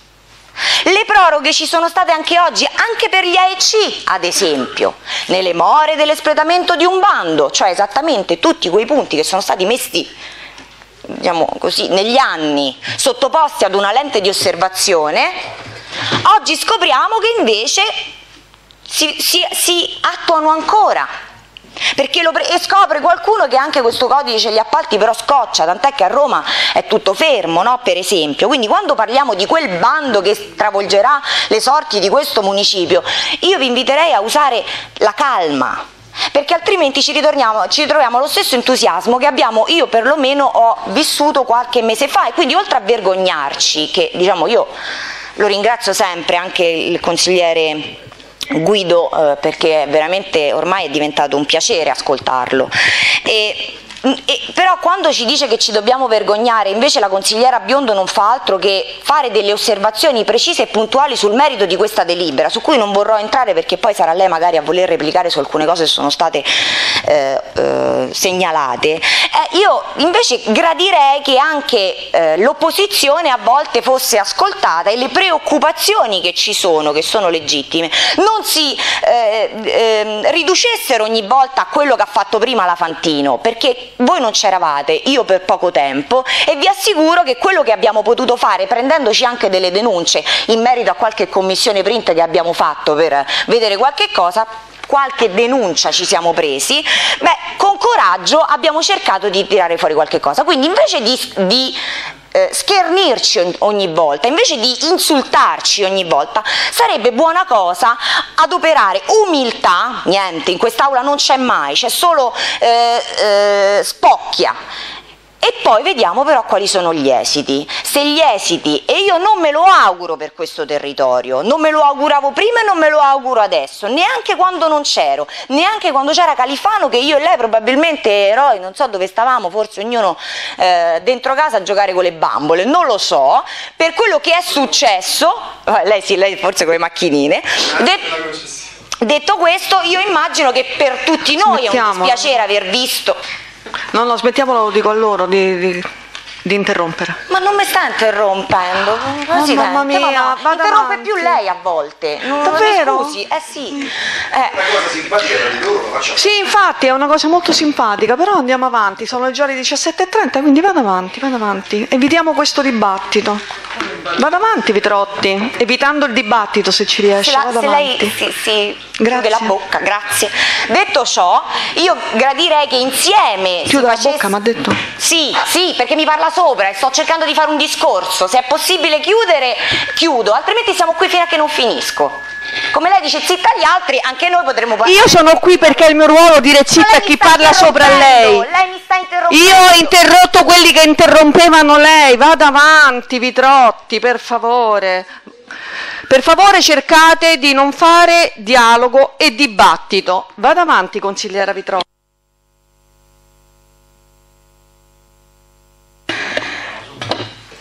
Invece io penso che quella, quella discussione, anche costruttiva, che c'è stata nella Commissione abbia portato a dei nodi. Poi se oggi voi mostrate tutta questa certezza, io, mm, mm, cioè, ci affidiamo anche a questo, a questa vostra mm, lungimiranza. Peccato che diciamo, i precedenti non vi danno propriamente ragione.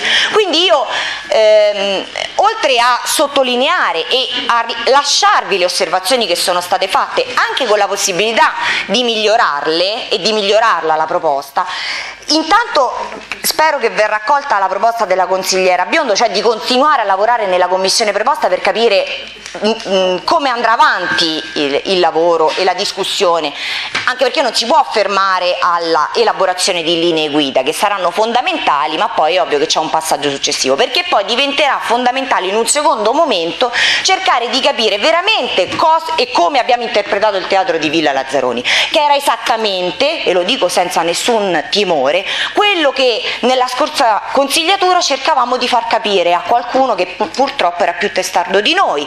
E quindi quella volontà di eh, dare solo un taglio eh, prettamente, strettamente di quartiere, probabilmente non avrebbe aiutato al rilancio di quel teatro che tutta la cittadinanza immagina come il teatro non solo del quartiere, ma il teatro che può far rivivere una villa che è in difficoltà oggettive e non perché oggi c'è una villa ma perché c'è un degrado purtroppo eh, eh, consolidato, perché gli atti di vandalismo vanno avanti, perché quando non c'è un controllo e quando non c'è un movimento nelle, nel, nelle nostre piazze e nelle nostre ville si crea anche del disagio e anche del degrado. Per tutte queste ragioni la cittadinanza vuole quella, quel polo culturale attivo.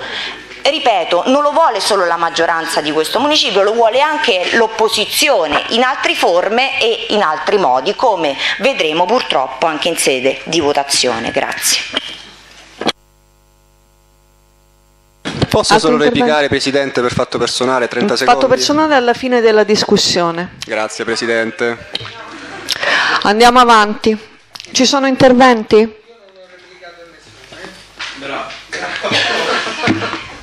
Ci sono interventi? Se non ci sono interventi io lascio la parola al relatore per l'intervento, anzi no, c'è prima l'illustrazione dell'emendamento prima della fine della discussione.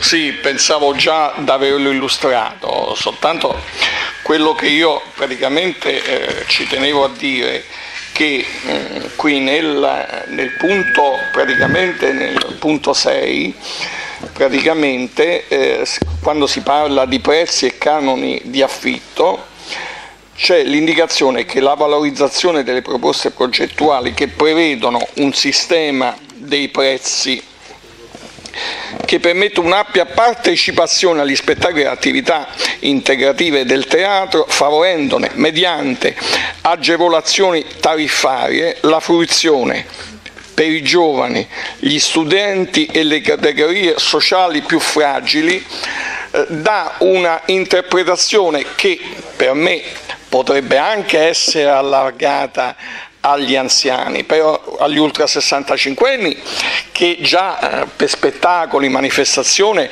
hanno nella maggior parte dei teatri, la maggior parte eh, dico anche allo stadio, ma in tantissimi, in tantissimi luoghi di aggregazione una scontistica particolare riservata, ecco un'interpretazione che potrebbe essere non giusta da parte, così come noi la indichiamo nella delibera, eh, da parte un'interpretazione non giusta da parte dell'affidatario che potrebbe ritenere non socialmente più fragili gli ultra 65 anni. Allora io avrei voluto ecco, mettere, aggiungere, infatti un eh, emendamento aggiuntivo che recita, si propone di aggiungere al punto A dell'articolo 6 dell'allegato A, dopo le parole le categorie sociali più fragili, gli ultra 65 anni, in modo che siamo più precisi nell'interpretazione anche degli eh, anziani ultra 65 anni che potrebbero non essere ben identificati da parte dell'affidatario e perciò non riconoscendo a loro agevolazioni tariffarie, ecco appunto gli ultra 65 anni. Ecco perché ho messo e eh, ho portato questo emendamento eh, aggiuntivo e chiedo appunto ai consiglieri di eh, approvarlo proprio perché è un discorso di interpretazione più esatta delle indicazioni che noi diamo rispetto alle categorie più in difficoltà. Ricordiamoci che più del 30% della popolazione del nostro municipio è anziana e quello che è il problema più importante purtroppo e più difficile anche da superare è quello della solitudine, perciò ricordiamo poi che il teatro è al centro eh, del, di quella che è l'attività dei centri anziani, perché ormai tutti i centri anziani del nostro territorio ex non ex decima hanno un loro teatro e fanno attività teatrali, perciò ecco, dare anche una indicazione positiva in questo senso agli ultra 65 anni mi sembra un fatto dovuto.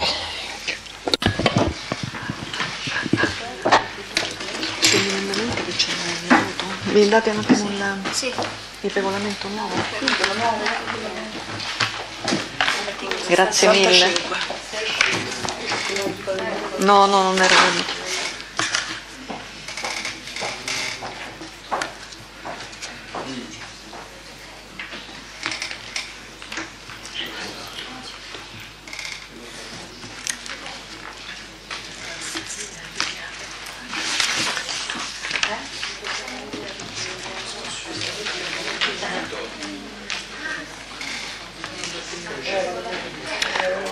Ok.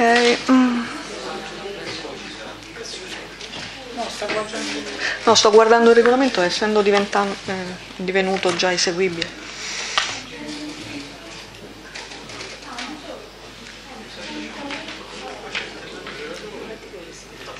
Ok, sì, può intervenire eh, per non più di 5 minuti un solo firmatario, diciamo un- per ciascun gruppo per, eh, per, eh, per per, ehm, illustrarlo e poi c'è dichiarazione di voto per non più di 3 minuti a gruppo. Stavo controllando solamente, essendo divenuto eh, subito esecutivo il nuovo regolamento, mi volevo accertare di fare le cose giuste, tutto qui. Ok. Ok, può intervenire un consigliere per ogni gruppo consigliare solamente e poi ci può essere la dichiarazione di voto. Tutto qui. Volevo essere sicura non ci fossero variazioni. È rimasto tale e quale. Benissimo, ci sono interventi dei gruppi consigliari? Sì. Giuliano?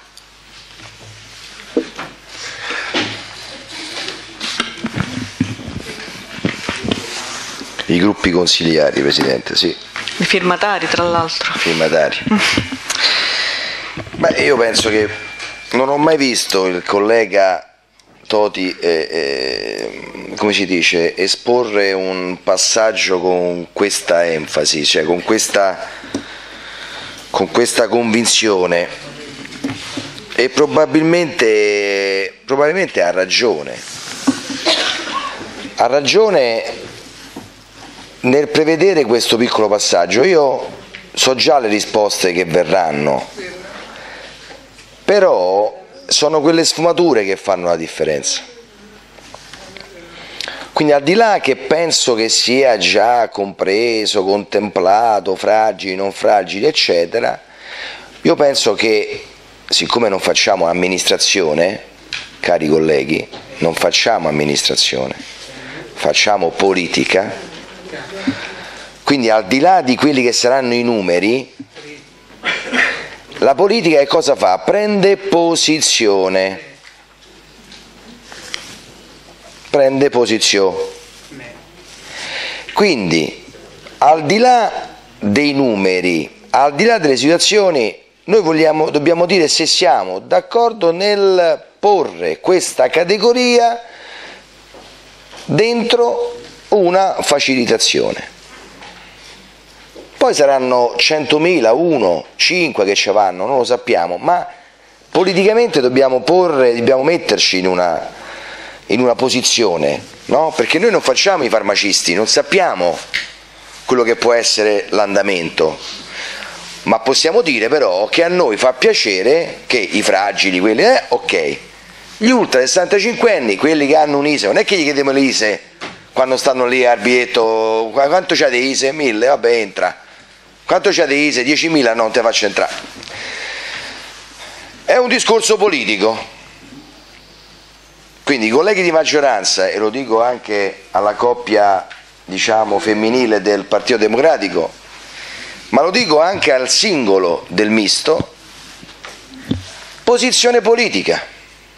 Quindi noi l'abbiamo fatto non perché, come si dice, ci mancava qualcosa e non potevamo andare a dormire stasera, perché poi giustamente questo lavoro possa avere, non perché non ci si è pensato, ma nelle sfumature possa avere quel risultato ancora più preciso che tocca e riguarda anche quel tipo di persone che sono la famosissima terza età.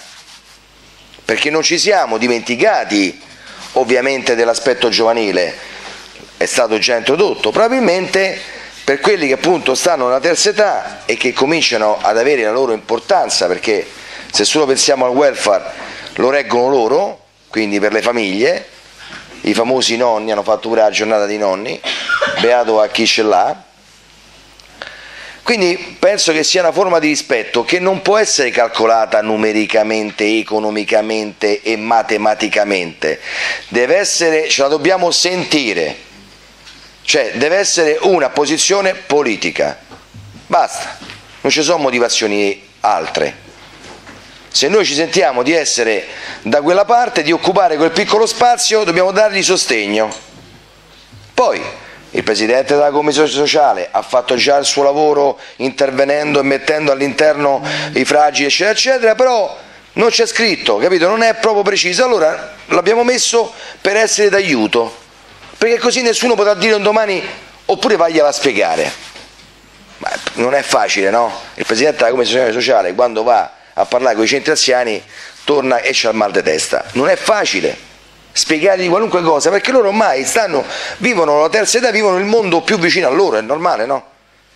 È naturale. Allora non puoi dire sì, ma tu sei fragile, poi quando torni a casa io ti accompagno, non stai da solo, stai con me, il municipio c'è, l'istituzione. Sei compreso. È finita la storia. Per l'intervento sono 5 minuti, per la dichiarazione di voto sono 3 Quindi minuti. ce l'ho l'altro tempo. Eh, sta per scadere? Eh, dai, ho detto bene. Coppia. Voi siete coppia di fatto, vi vedo. Allora, e, e quindi questo è. Mi, mi- mi sentivo di dirlo in questo modo, anche se non è apprezzato soprattutto dalla parte femminile, mi sentivo di dirlo in questo modo perché solo così si poteva spiegare. Grazie.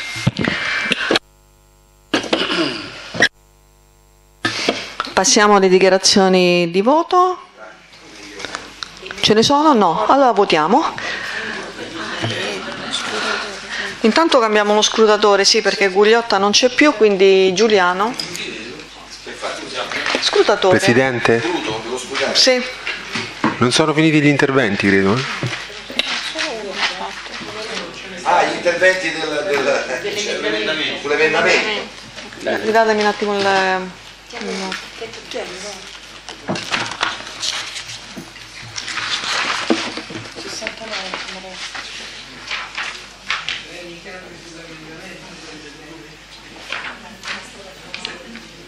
Possono intervenire per 5 minuti un solo firmatario di ciascun emendamento e non più di un consigliere per ogni gruppo consigliare. Sì, se volete intervenire, sì.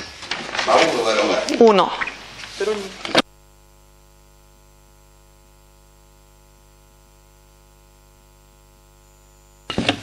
Grazie Presidente, colleghi cons- consiglieri. Allora, su questo emendamento c'è stato modo di discuterne più volte in sede di commissione, eh, di commissione cultura e eh, diciamo che premesso che eh, tutto ciò è, eh, segue una norma generale no? Di- che viene utilizzata da sempre diciamo, nelle strutture teatrali eh, rispetto alle tariffe agevolate o ad eventuali riduzioni in generale. E eh, quindi potremmo dire che quasi seguono una norma o, o più che altro una consuetudine. Ehm, per quanto riguarda la nostra posizione politica è chiara ed è chiaramente esplicitata all'interno del, del regolamento. Allora la domanda è eh, se gli anziani sono categorie fragili a prescindere oppure no. Perché solo gli ultra 65 anni? E i 64 anni? E i 63 anni? Questa è per dire che il target non può e non deve essere l'età di una persona, ma come abbiamo esplicitato nel regolamento, una situazione di fragilità sociale che prescinde dall'età della persona. E gli anziani benestanti? Quindi quelli che hanno economicamente la possibilità, a differenza di altri, di fruire liberamente quante volte preferiscono dei teatri, dei cinema e di tutte le attività culturali. Quindi la distinzione che noi abbiamo fatto, eh, ringrazio il consigliere che mi ha preceduto prima specificando insomma, che questa cosa è stata affrontata con attenzione in commissione, eh, con un ragionamento eh, prospettico proprio dal lato, dal lato sociale, e ringrazio con l'occasione anche il Presidente e Vicepresidente della Commissione Cultura che eh, hanno dato la loro attenzione a, a, questa, a questa parte, a questo aspetto. E quindi c'è stata la possibilità di esplicitarlo, di esplicitarlo meglio. E quindi quello che noi vogliamo dire in questo momento è non categorizzare le persone per l'età, ma proprio per la condizione che hanno. E eh, per, per, provvedere diciamo, a, delle, a delle agevolazioni sulle tariffe proprio per la condizione sociale in cui si trovano. Per me una, una, tariffa agevolata deve andare a una persona che economicamente è anche fragile, socialmente è anche fragile. Penso per esempio alle persone che percepiranno il reddito di cittadinanza o la pensione di cittadinanza cioè il target che noi abbiamo cercato di individuare e che dovrà eh, essere esplicitato ovviamente all'interno del, del bando con un'attenzione particolare è proprio questo. Le categorie socialmente più fragili. Noi pensiamo che con questa formula riusciamo ad, ad inquadrare in maniera più ampia una più vasta categoria di, di persone, non solo quelle che superano i 65 anni. E quindi diciamo, questa è la motivazione della, della scelta eh, nostra diciamo, di ehm, andare in questa direzione all'interno del, del, regolamento. Quindi diciamo, crediamo che quella richiesta che viene fatta, che viene posta con, con ottime intenzioni, sono certo, eh, in realtà noi la vediamo in, in maniera leggermente diversa, in una maniera un po' più inclusiva non solo per, eh, dicevo, per il target e l'età, ma proprio per la condizione sociale, per la condizione di fragilità sociale. Questo è il, è il nostro pensiero su, su, questa cosa. Poi ci esprimeremo nel momento in cui sarà, eh, ci verrà data la possibilità di votare. Grazie. Ci sono altri interventi? No, andiamo allora in dichiarazione di voto. Dichiarazioni di voto. Approfitto di quest'altri secondi nel dire che ovviamente Fratelli d'Italia è ovviamente d'accordo. Cerco di, di, di chiedere ovviamente all'Aula di non eh, di non appoggiarsi completamente al, al, al, diciamo, al, percorso mentale che è stato fatto e che adesso ho sentito avendo, cioè, considerandolo giusto e positivo. Se vogliamo comunque mettere nella condizione una, come si dice, una terza generazione nella, nella possibilità di fronte a questo aspetto di poter essere considerati e lo possiamo fare poi con no? gli uffici lo faranno con eh, delle limitazioni, no? non è che per, per, possiamo permettere a uno che ha una pensione di 10.000 euro al mese di poter entrare ridotto, no, ma si mettono dopo le limitazioni, voi siete i primi che lo dite sempre, voi siete i primi che dite dopo gli uffici no? entreranno nel merito, qui noi lo diciamo solo come... Con, diciamo cioè, come eh, contenitore, cioè all'interno di quel contenitore ci possono essere anche quelli che, che poi avranno, che potranno avere i requisiti, possiamo aggiungere così, che saranno quelli che verranno disciplinati. Però siamo un po' più precisi, non è perché non l'avete detto, ma siamo un po' più precisi. E ripeto, non, famo, non facciamo i farmacisti, facciamo politica, quindi se poi proprio non è precisa la cosa, vogliamo aggiungere requisiti no, collegati, lo facciamo, lo mettiamo, però diamo un'indicazione politica per quanto riguarda questo aspetto, sicuramente affrontato ma migliormente definito. Questo è, però lo fa la politica, non lo fa, fa l'amministrazione. L'amministrazione poi gli diciamo agli uffici di dire chi deve entrare, chi, come, quando e perché, quali requisiti deve avere. Ok? Quindi siamo favorevoli, ma speriamo che anche l'Aula con uno slancio, un piccolo slancio, possa eh, fare un effetto positivo. Altre dichiarazioni?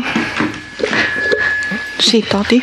Eh, senz'altro sono d'accordo, eh, sono stato il primo firmatario di questo emendamento, perciò come non essere non d'accordo ma d'accordissimo. Io speravo che ci fosse ecco, un maggiore disponibilità rispetto a questo perché voglio dire se noi mettiamo al centro l'ISE, poi il discorso ISE lo dobbiamo fare per tutti perché poi c'è l'ISE familiare che poi prende poi tutti, allora poi diventa un discorso difficile quello perché non è che poi dobbiamo stare attenti all'ISE rispetto agli anziani e non siamo attenti all'ISE rispetto agli altri. Allora voglio dire, eh, è un discorso che io eh, ho fatto prima, quella della solitudine che è elemento importante, fondamentale per la vita eh, della terza età. Perciò ecco, più che l'ISE io metterei al centro la solitudine. Perciò ecco, aprire il più possibile alla terza età tutto quello che è eh, cultura, che è spettacolo, come si apre, apre giustamente per i giovani. Eh, perciò il discorso che è per i giovani che possono essere anche ricchissimi i giovani, non è che chiediamo l'ISE familiare ai giovani, ma perché lo dovremmo chiedere? Perché è giusto che i giovani, specialmente in età scolastica, partecipino senza mostrare l'ISE, eh, voglio dire, però è pure giusto che anziani, eh, io ho definito i 65 anni perché io penso sono quelli che hanno più bisogno, perché sennò potremmo pure indicare i 55 anni perché per entrare nei centri anziani c'è bisogno di avere 55 anni di età, ma abbiamo voluto invece indicare il 65 anno di età come crinale vero rispetto all'anzianità eh, dell'individuo. Perciò ecco, eh, ho detto, se dobbiamo essere seri, il discorso ISE è per tutti, non è per uno e né per l'altro, il discorso deve essere fatto per tutti e eh, voglio dire invece in questo caso io penso per gli anziani è elemento caratterizzante eh, la solitudine. Altre dichiarazioni? Una pausa di 5 minuti. Non ci sono dichiarazioni? Allora andiamo avanti con... Ah sì, Principato. Grazie Presidente, colleghi consiglieri.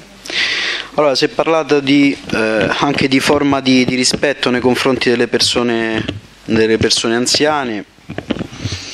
Io credo che qualsiasi consigliere in quest'Aula, a prescindere che sia dell'opposizione o della maggioranza, potrà testimoniare tranquillamente che da parte di questa maggioranza, e mi permetto di dire da parte eh, mia, ma semplicemente per il, per il ruolo che rivesto, cioè quello di Presidente della Commissione Politiche Sociali, non sia mancata assolutamente l'attenzione alla categoria delle persone anziane, tanto che eh, più volte sono state convocate in, in commissione e, e, più volte diciamo, eh, sono intervenuto, mi sono reso disponibile a dialogare eh, tranquillamente cercando di portare poi dei, dei, risultati. Non sempre ci siamo riusciti e continueremo ad impegnarci in questo senso. Sul tema in particolare ehm, vorrei ribadire un concetto.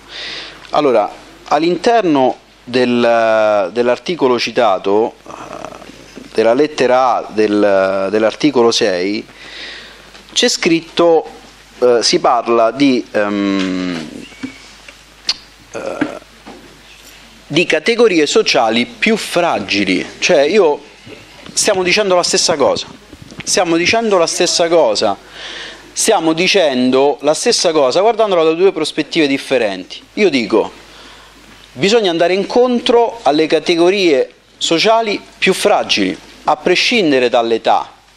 ok?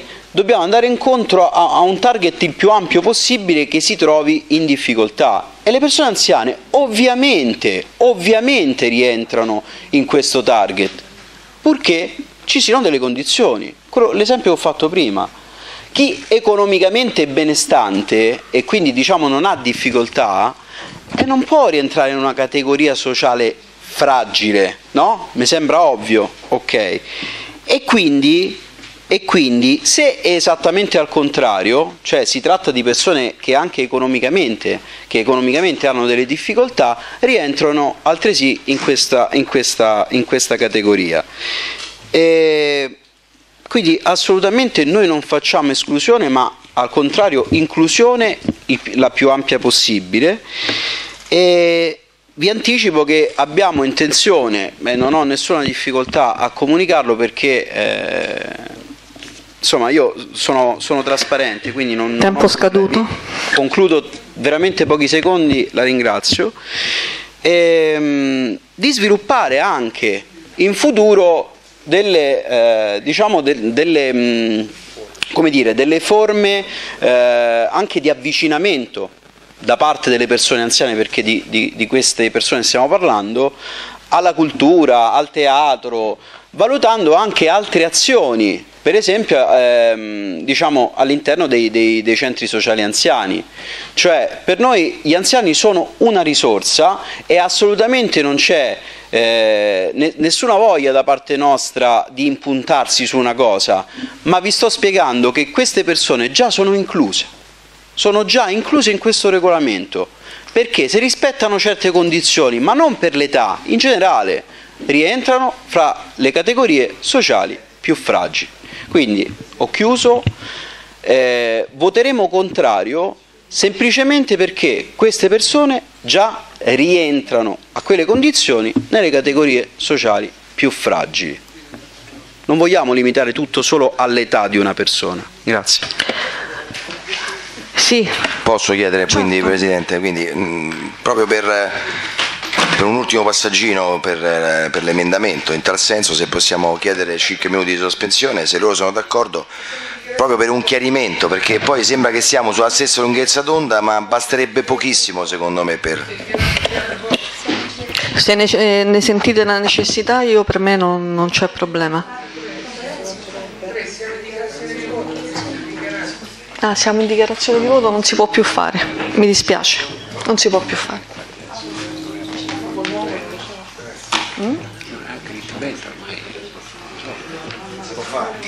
Mi dicono di no.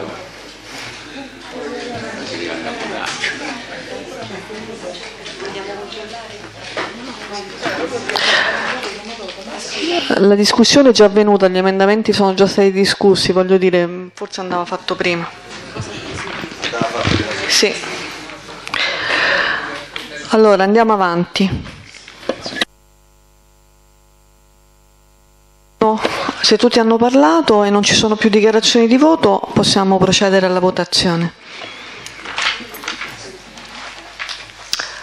Allora, per questo emendamento favorevoli?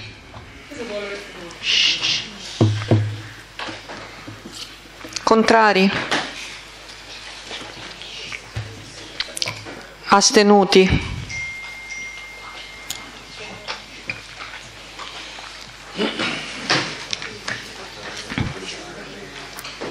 Ok. Viene purtroppo respinto con 13 contrari, 2 favorevoli e 4 astenuti. Ricordo che siamo in fine di discussione della delibera che non è stata emendata Posso lasciare il, in, prima della votazione solamente parola al relatore, ho un assessore che non c'è, quindi al relatore per dieci minuti se ne ha bisogno e poi andiamo in votazione anche, in dichiarazione di voto anche della delibera. Sì Presidente, c'era sempre l'intervento per fatto personale, cioè non so quando vada, se prima o dopo. Alla fine, alla fine della discussione facciamo dopo il... Eh? Dopo l'intervento... Dopo l'intervento di chiusura? Sì. Grazie Presidente. Eh, chiudo questa discussione e approfittando insomma, di questo momento per chiarire alcune cose che sono state dette e che non mi risultano, non mi risultano essere proprio coincidenti con quello che è scritto nella, nella proposta di deliberazione, cioè si sta facendo passare questo atto come una forma come, dire, come una possibilità di affidare eh, il teatro a non si sa chi, all'avventura, con oneri e obblighi come macigni sulla, sul groppone del povero sventurato che parteciperà. E per essere più precisi, il teatro è aperto. Cosa significa è aperto? Vuol dire che ha tutte le, le, tutte le certificazioni, compresa quella dei vigili del fuoco, per poter essere utilizzato come spazio, senza le sedute, cioè non ci si può fare teatro ancora, non ci si può rappresentare delle piste teatrali oppure non ci si può fare eh, spettacoli, ma il teatro in quanto edificio spazio, vogliamo chiamarlo spazio eventi, teatro aperto come spazio eventi, è già aperto, che voglio dire, se no il 27 marzo scorso come avremmo potuto aprirlo e farci quella mostra come l'abbiamo fatta, che poi mi vogliate dire che ancora non è fruito al, al 100%, forse è fruito in minimissima parte, scusate il termine, e questo sicuramente può essere. E quindi ci dobbiamo impegnare per mettere ehm, per migliorare questo aspetto. Lo faremo, però non mi si può dire che è ancora aperto e non mi si può dire che sono mesi e mesi di promesse. Questi sono mesi e mesi di lavoro preparatorio, di un lavoro necessario, non so se sia stato fatto prima, no, forse no, perché altrimenti avremmo trovato le proposte di delibera, boh, io non ne ho avuto contezza nel, durante i lavori di, di commissione. Quindi eh, il teatro è aperto e i mesi necessari sono necessari perché è un grosso, una grossa responsabilità che ci stiamo prendendo. Dopo ciò che abbiamo sentito dal, um, dai consiglieri diciamo, che hanno, mi hanno preceduto, che stavano all'ex nono e che conoscono bene la faccenda no, degli affidamenti eh, fatti in passato e delle, delle, modalità con cui è stato gestito il, il teatro e che ha generato oneri per la cittadinanza, perché dobbiamo ricordarci che un teatro, un edificio pubblico è innanzitutto un bene della collettività tutta, non è delle associazioni, è delle, della comunità e noi abbiamo il diritto e il dovere, mm, il, soprattutto il dovere, di garantire la collettività e garantire il bene che rimanga nella disponibilità della collettività e che produca un, dire, un beneficio per tutta la collettività.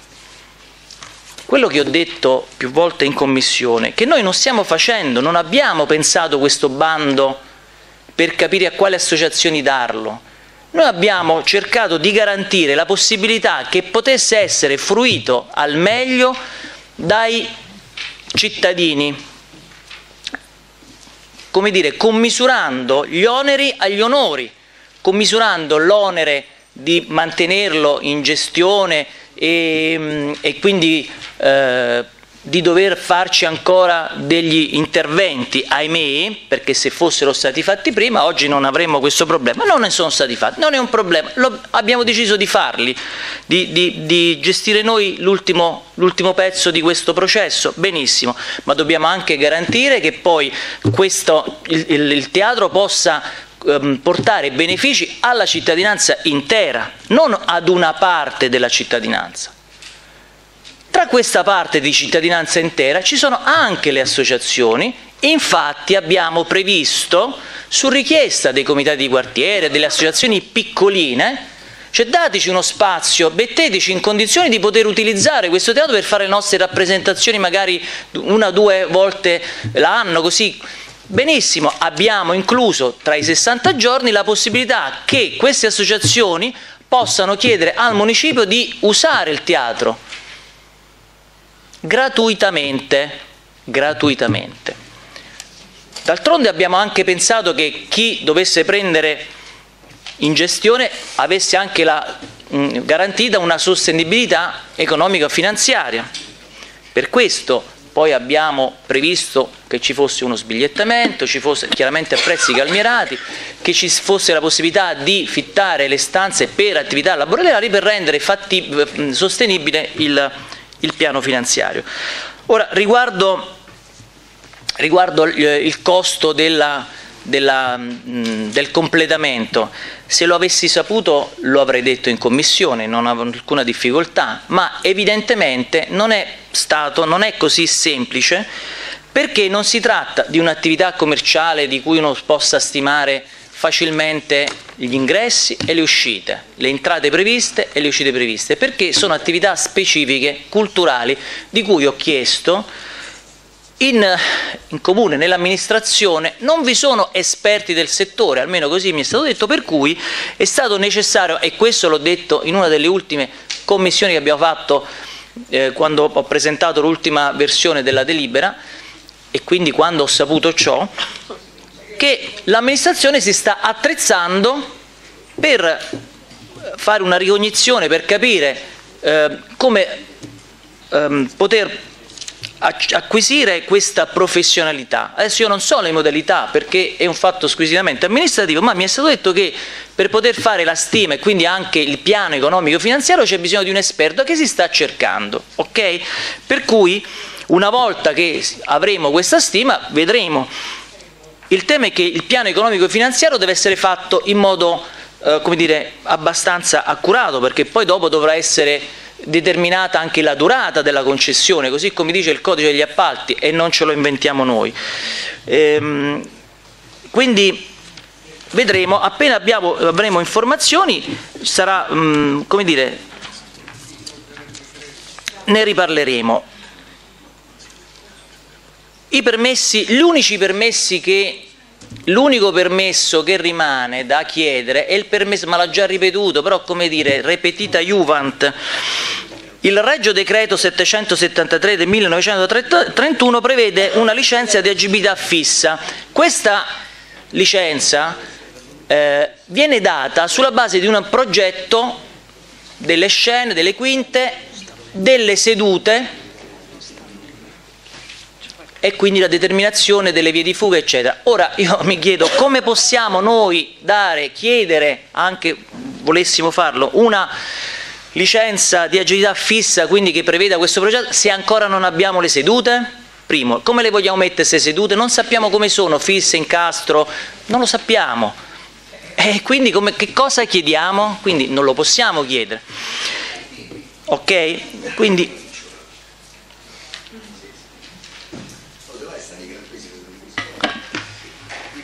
Sono passati, abbiamo iniziato le commissioni a febbraio, è vero, sono passati un po' di mesi, non certo anni, ma questi mesi ci hanno permesso di costruire, di articolare una delibera da zero,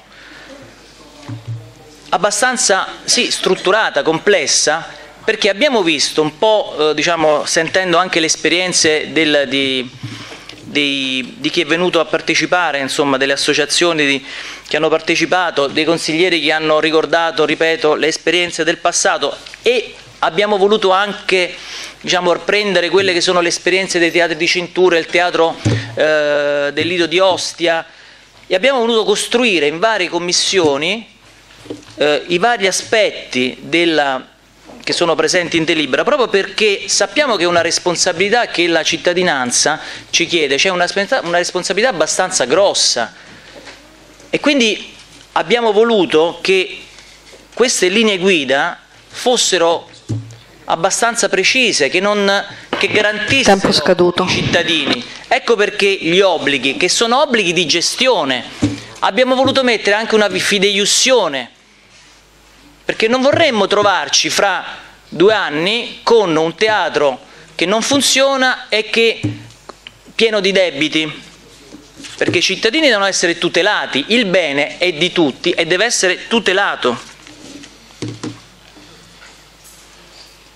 Ora, si è parlato di speculazioni, io non, non ho capito a cosa si riferisse questa, questo termine, non Mi so concluda, quali speculazioni abbiamo fatto. Quindi il tutto per dire che mh, è stato un lavoro molto articolato, è un, stato un lavoro che ha, che ha, richiesto mesi di lavoro, a parte che una, per un periodo siamo stati impegnati, la Commissione, come ben sanno i commissari della Commissione Scuola, sono stati impegnati a, a preparare la delibera di programmazione sportiva. E quindi io direi che il lavoro è stato ben fatto e ci auguriamo che queste linee guida possano facilitare l'apertura e sicuramente abbiamo voluto declinare tutti gli aspetti per evitare che qualcosa potesse essere tralasciato. Con questo eh, chiudo dicendo che meglio non avremmo potuto fare e ringrazio i cittadini e le associazioni che hanno partecipato attivamente e che sicuramente potranno diciamo, poter fruire di questo spazio al più presto possibile. Grazie. Le lascio la parola, consigliere Guido. Io rinuncio, così andiamo in chiusura, Presidente. Allora, andiamo avanti con le dichiarazioni di voto. Ci sono dichiarazioni di voto? No, andiamo alle votazioni. Non aspettate sempre l'ultimo millisecondo, lo chiedo a tutti, ver- veramente, eh, con questa cosa di aspettare la manina che si alza. Eh, tu vuoi sempre che la facciamo Allora, ehm, no, no, vada, vada, vada. Se non devo farla, la faccio. Si figuri. Sei misto, voglio dire, il gruppo importante. No, io volevo fare una dichiarazione puntuale e precisa che non va nel merito di quello che abbiamo letto, le intenzioni, i cittadini. Io voglio solo dire che la strategia usata da questa maggioranza non è condivisibile, anche se voglio dire, è una cosa che ci preme assolutamente fare tutti. Perché non è condivisibile?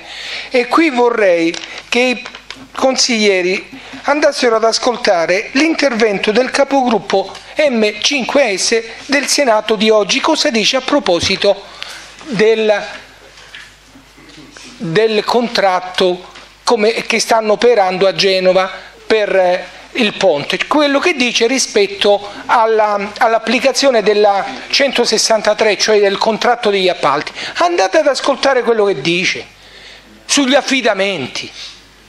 Cosa pretende? Dice che dobbiamo fare come fa l'Europa, che sino a 200.000 euro si possono fare perché bisogna fare velocemente. Io sono rimasto strabiliato stamattina rispetto all'intervento di un senatore della Repubblica che dice delle cose per favorire come dire, velocemente il lavoro. O, o siamo A o siamo B. Finisco nel dire la mia dichiarazione di voto che come dire, eh, mi premerebbe votarla, però mi devo astenere per quale motivo? Villa Lazzarone, ahimè, resterà nel degrado più buio.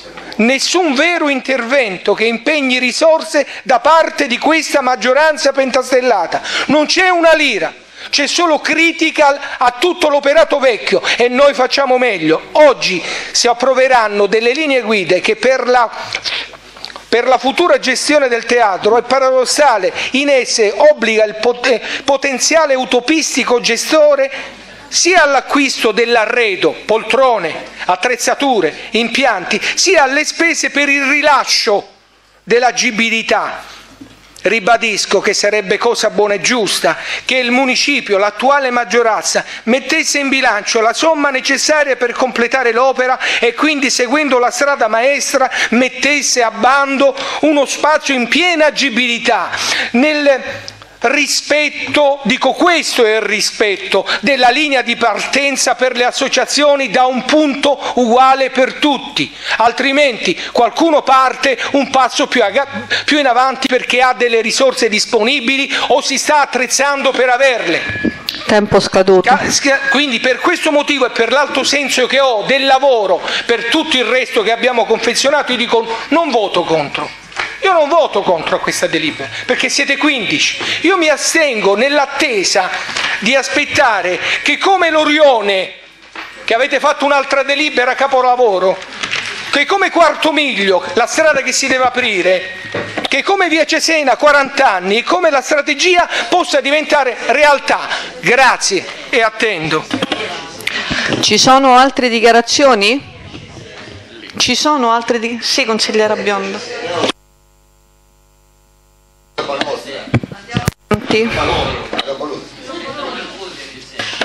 Per favore, facciamo fare questa dichiarazione. Vada, consigliera Biondo. Silenzio. Grazie, gra- grazie.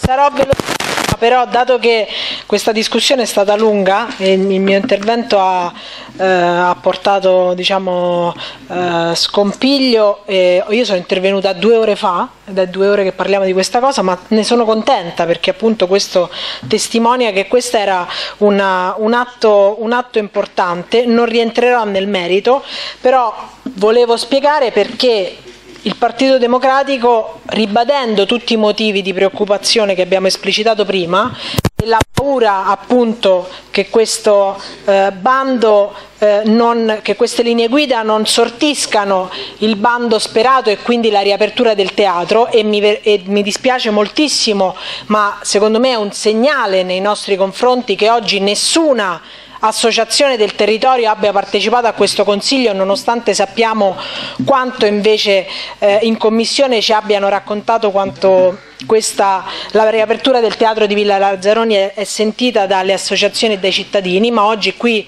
non è venuto nessuno, probabilmente perché ci stanno dicendo che si sono sentiti traditi rispetto a un percorso che abbiamo, che abbiamo iniziato.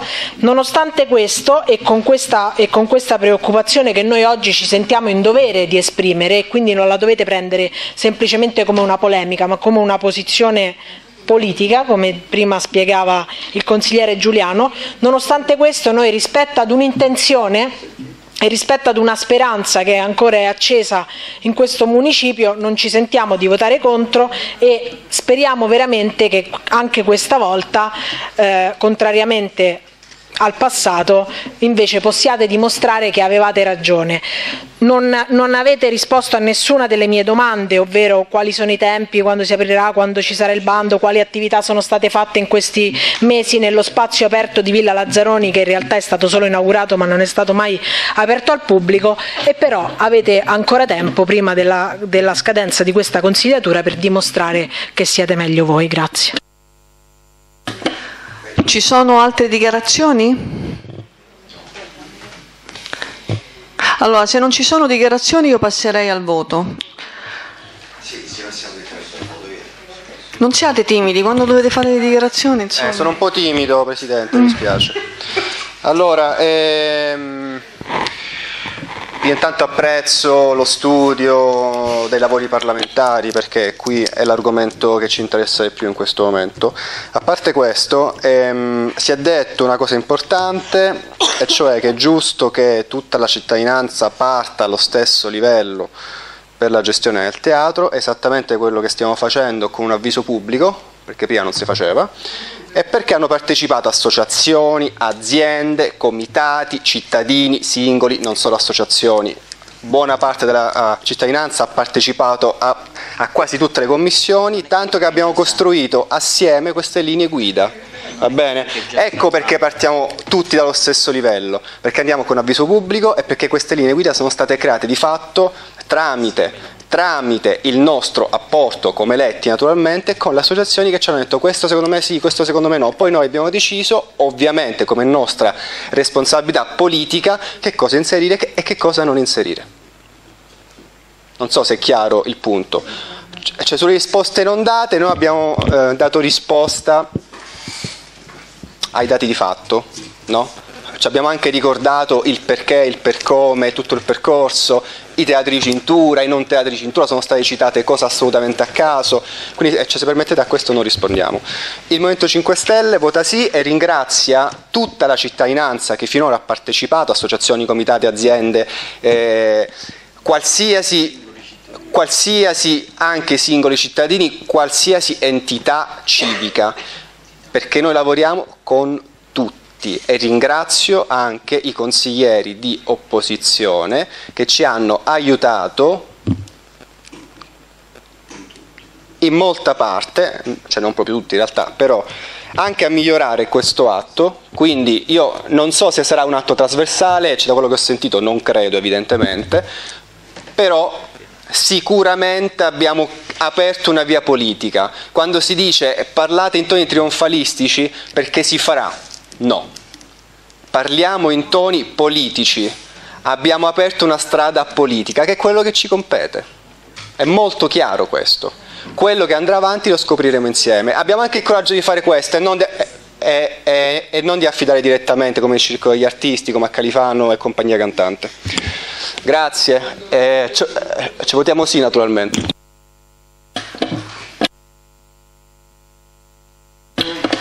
Sì.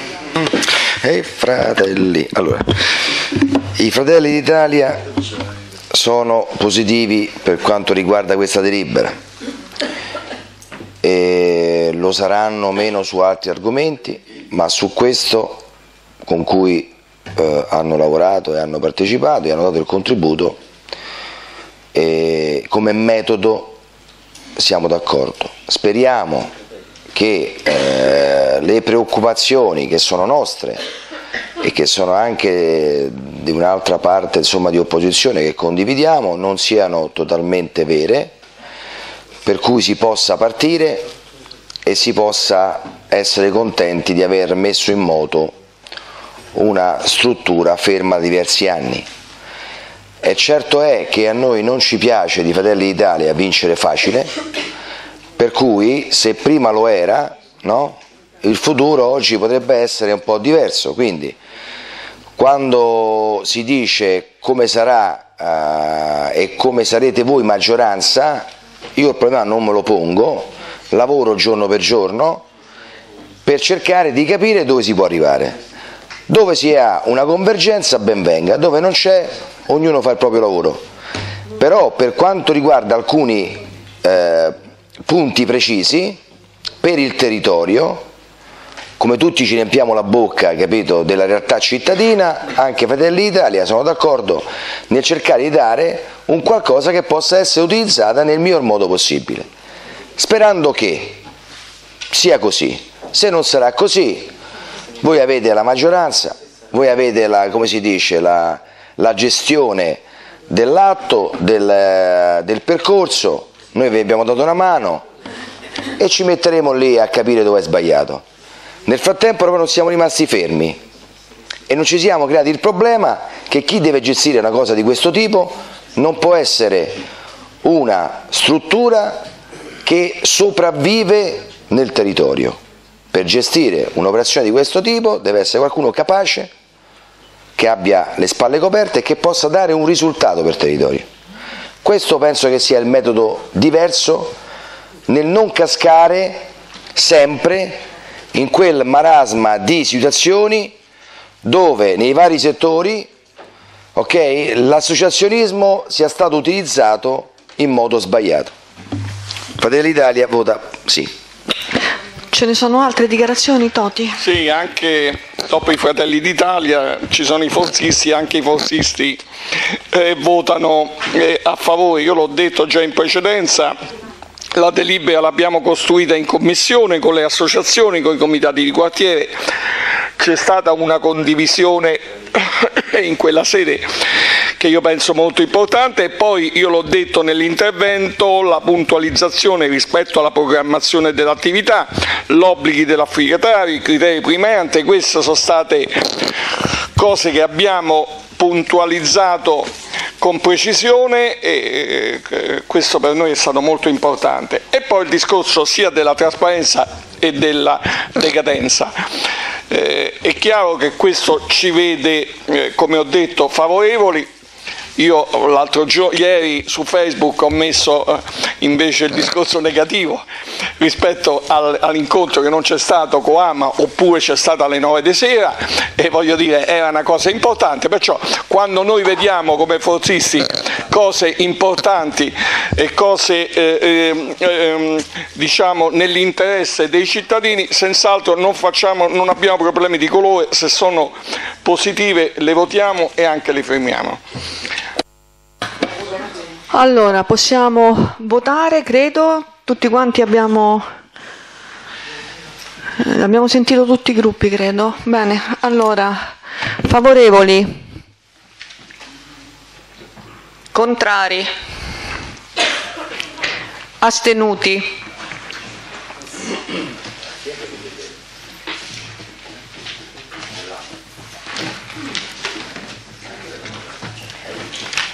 Sì, sono 15 favorevoli e 4 astenuti. Votiamo per eh, l'immediata eseguibilità. Favorevoli? Contrari? Astenuti? Credo sia stata sia concessa con, con 15 voti favorevoli viene concessa e quindi la delibera è subito esecutiva.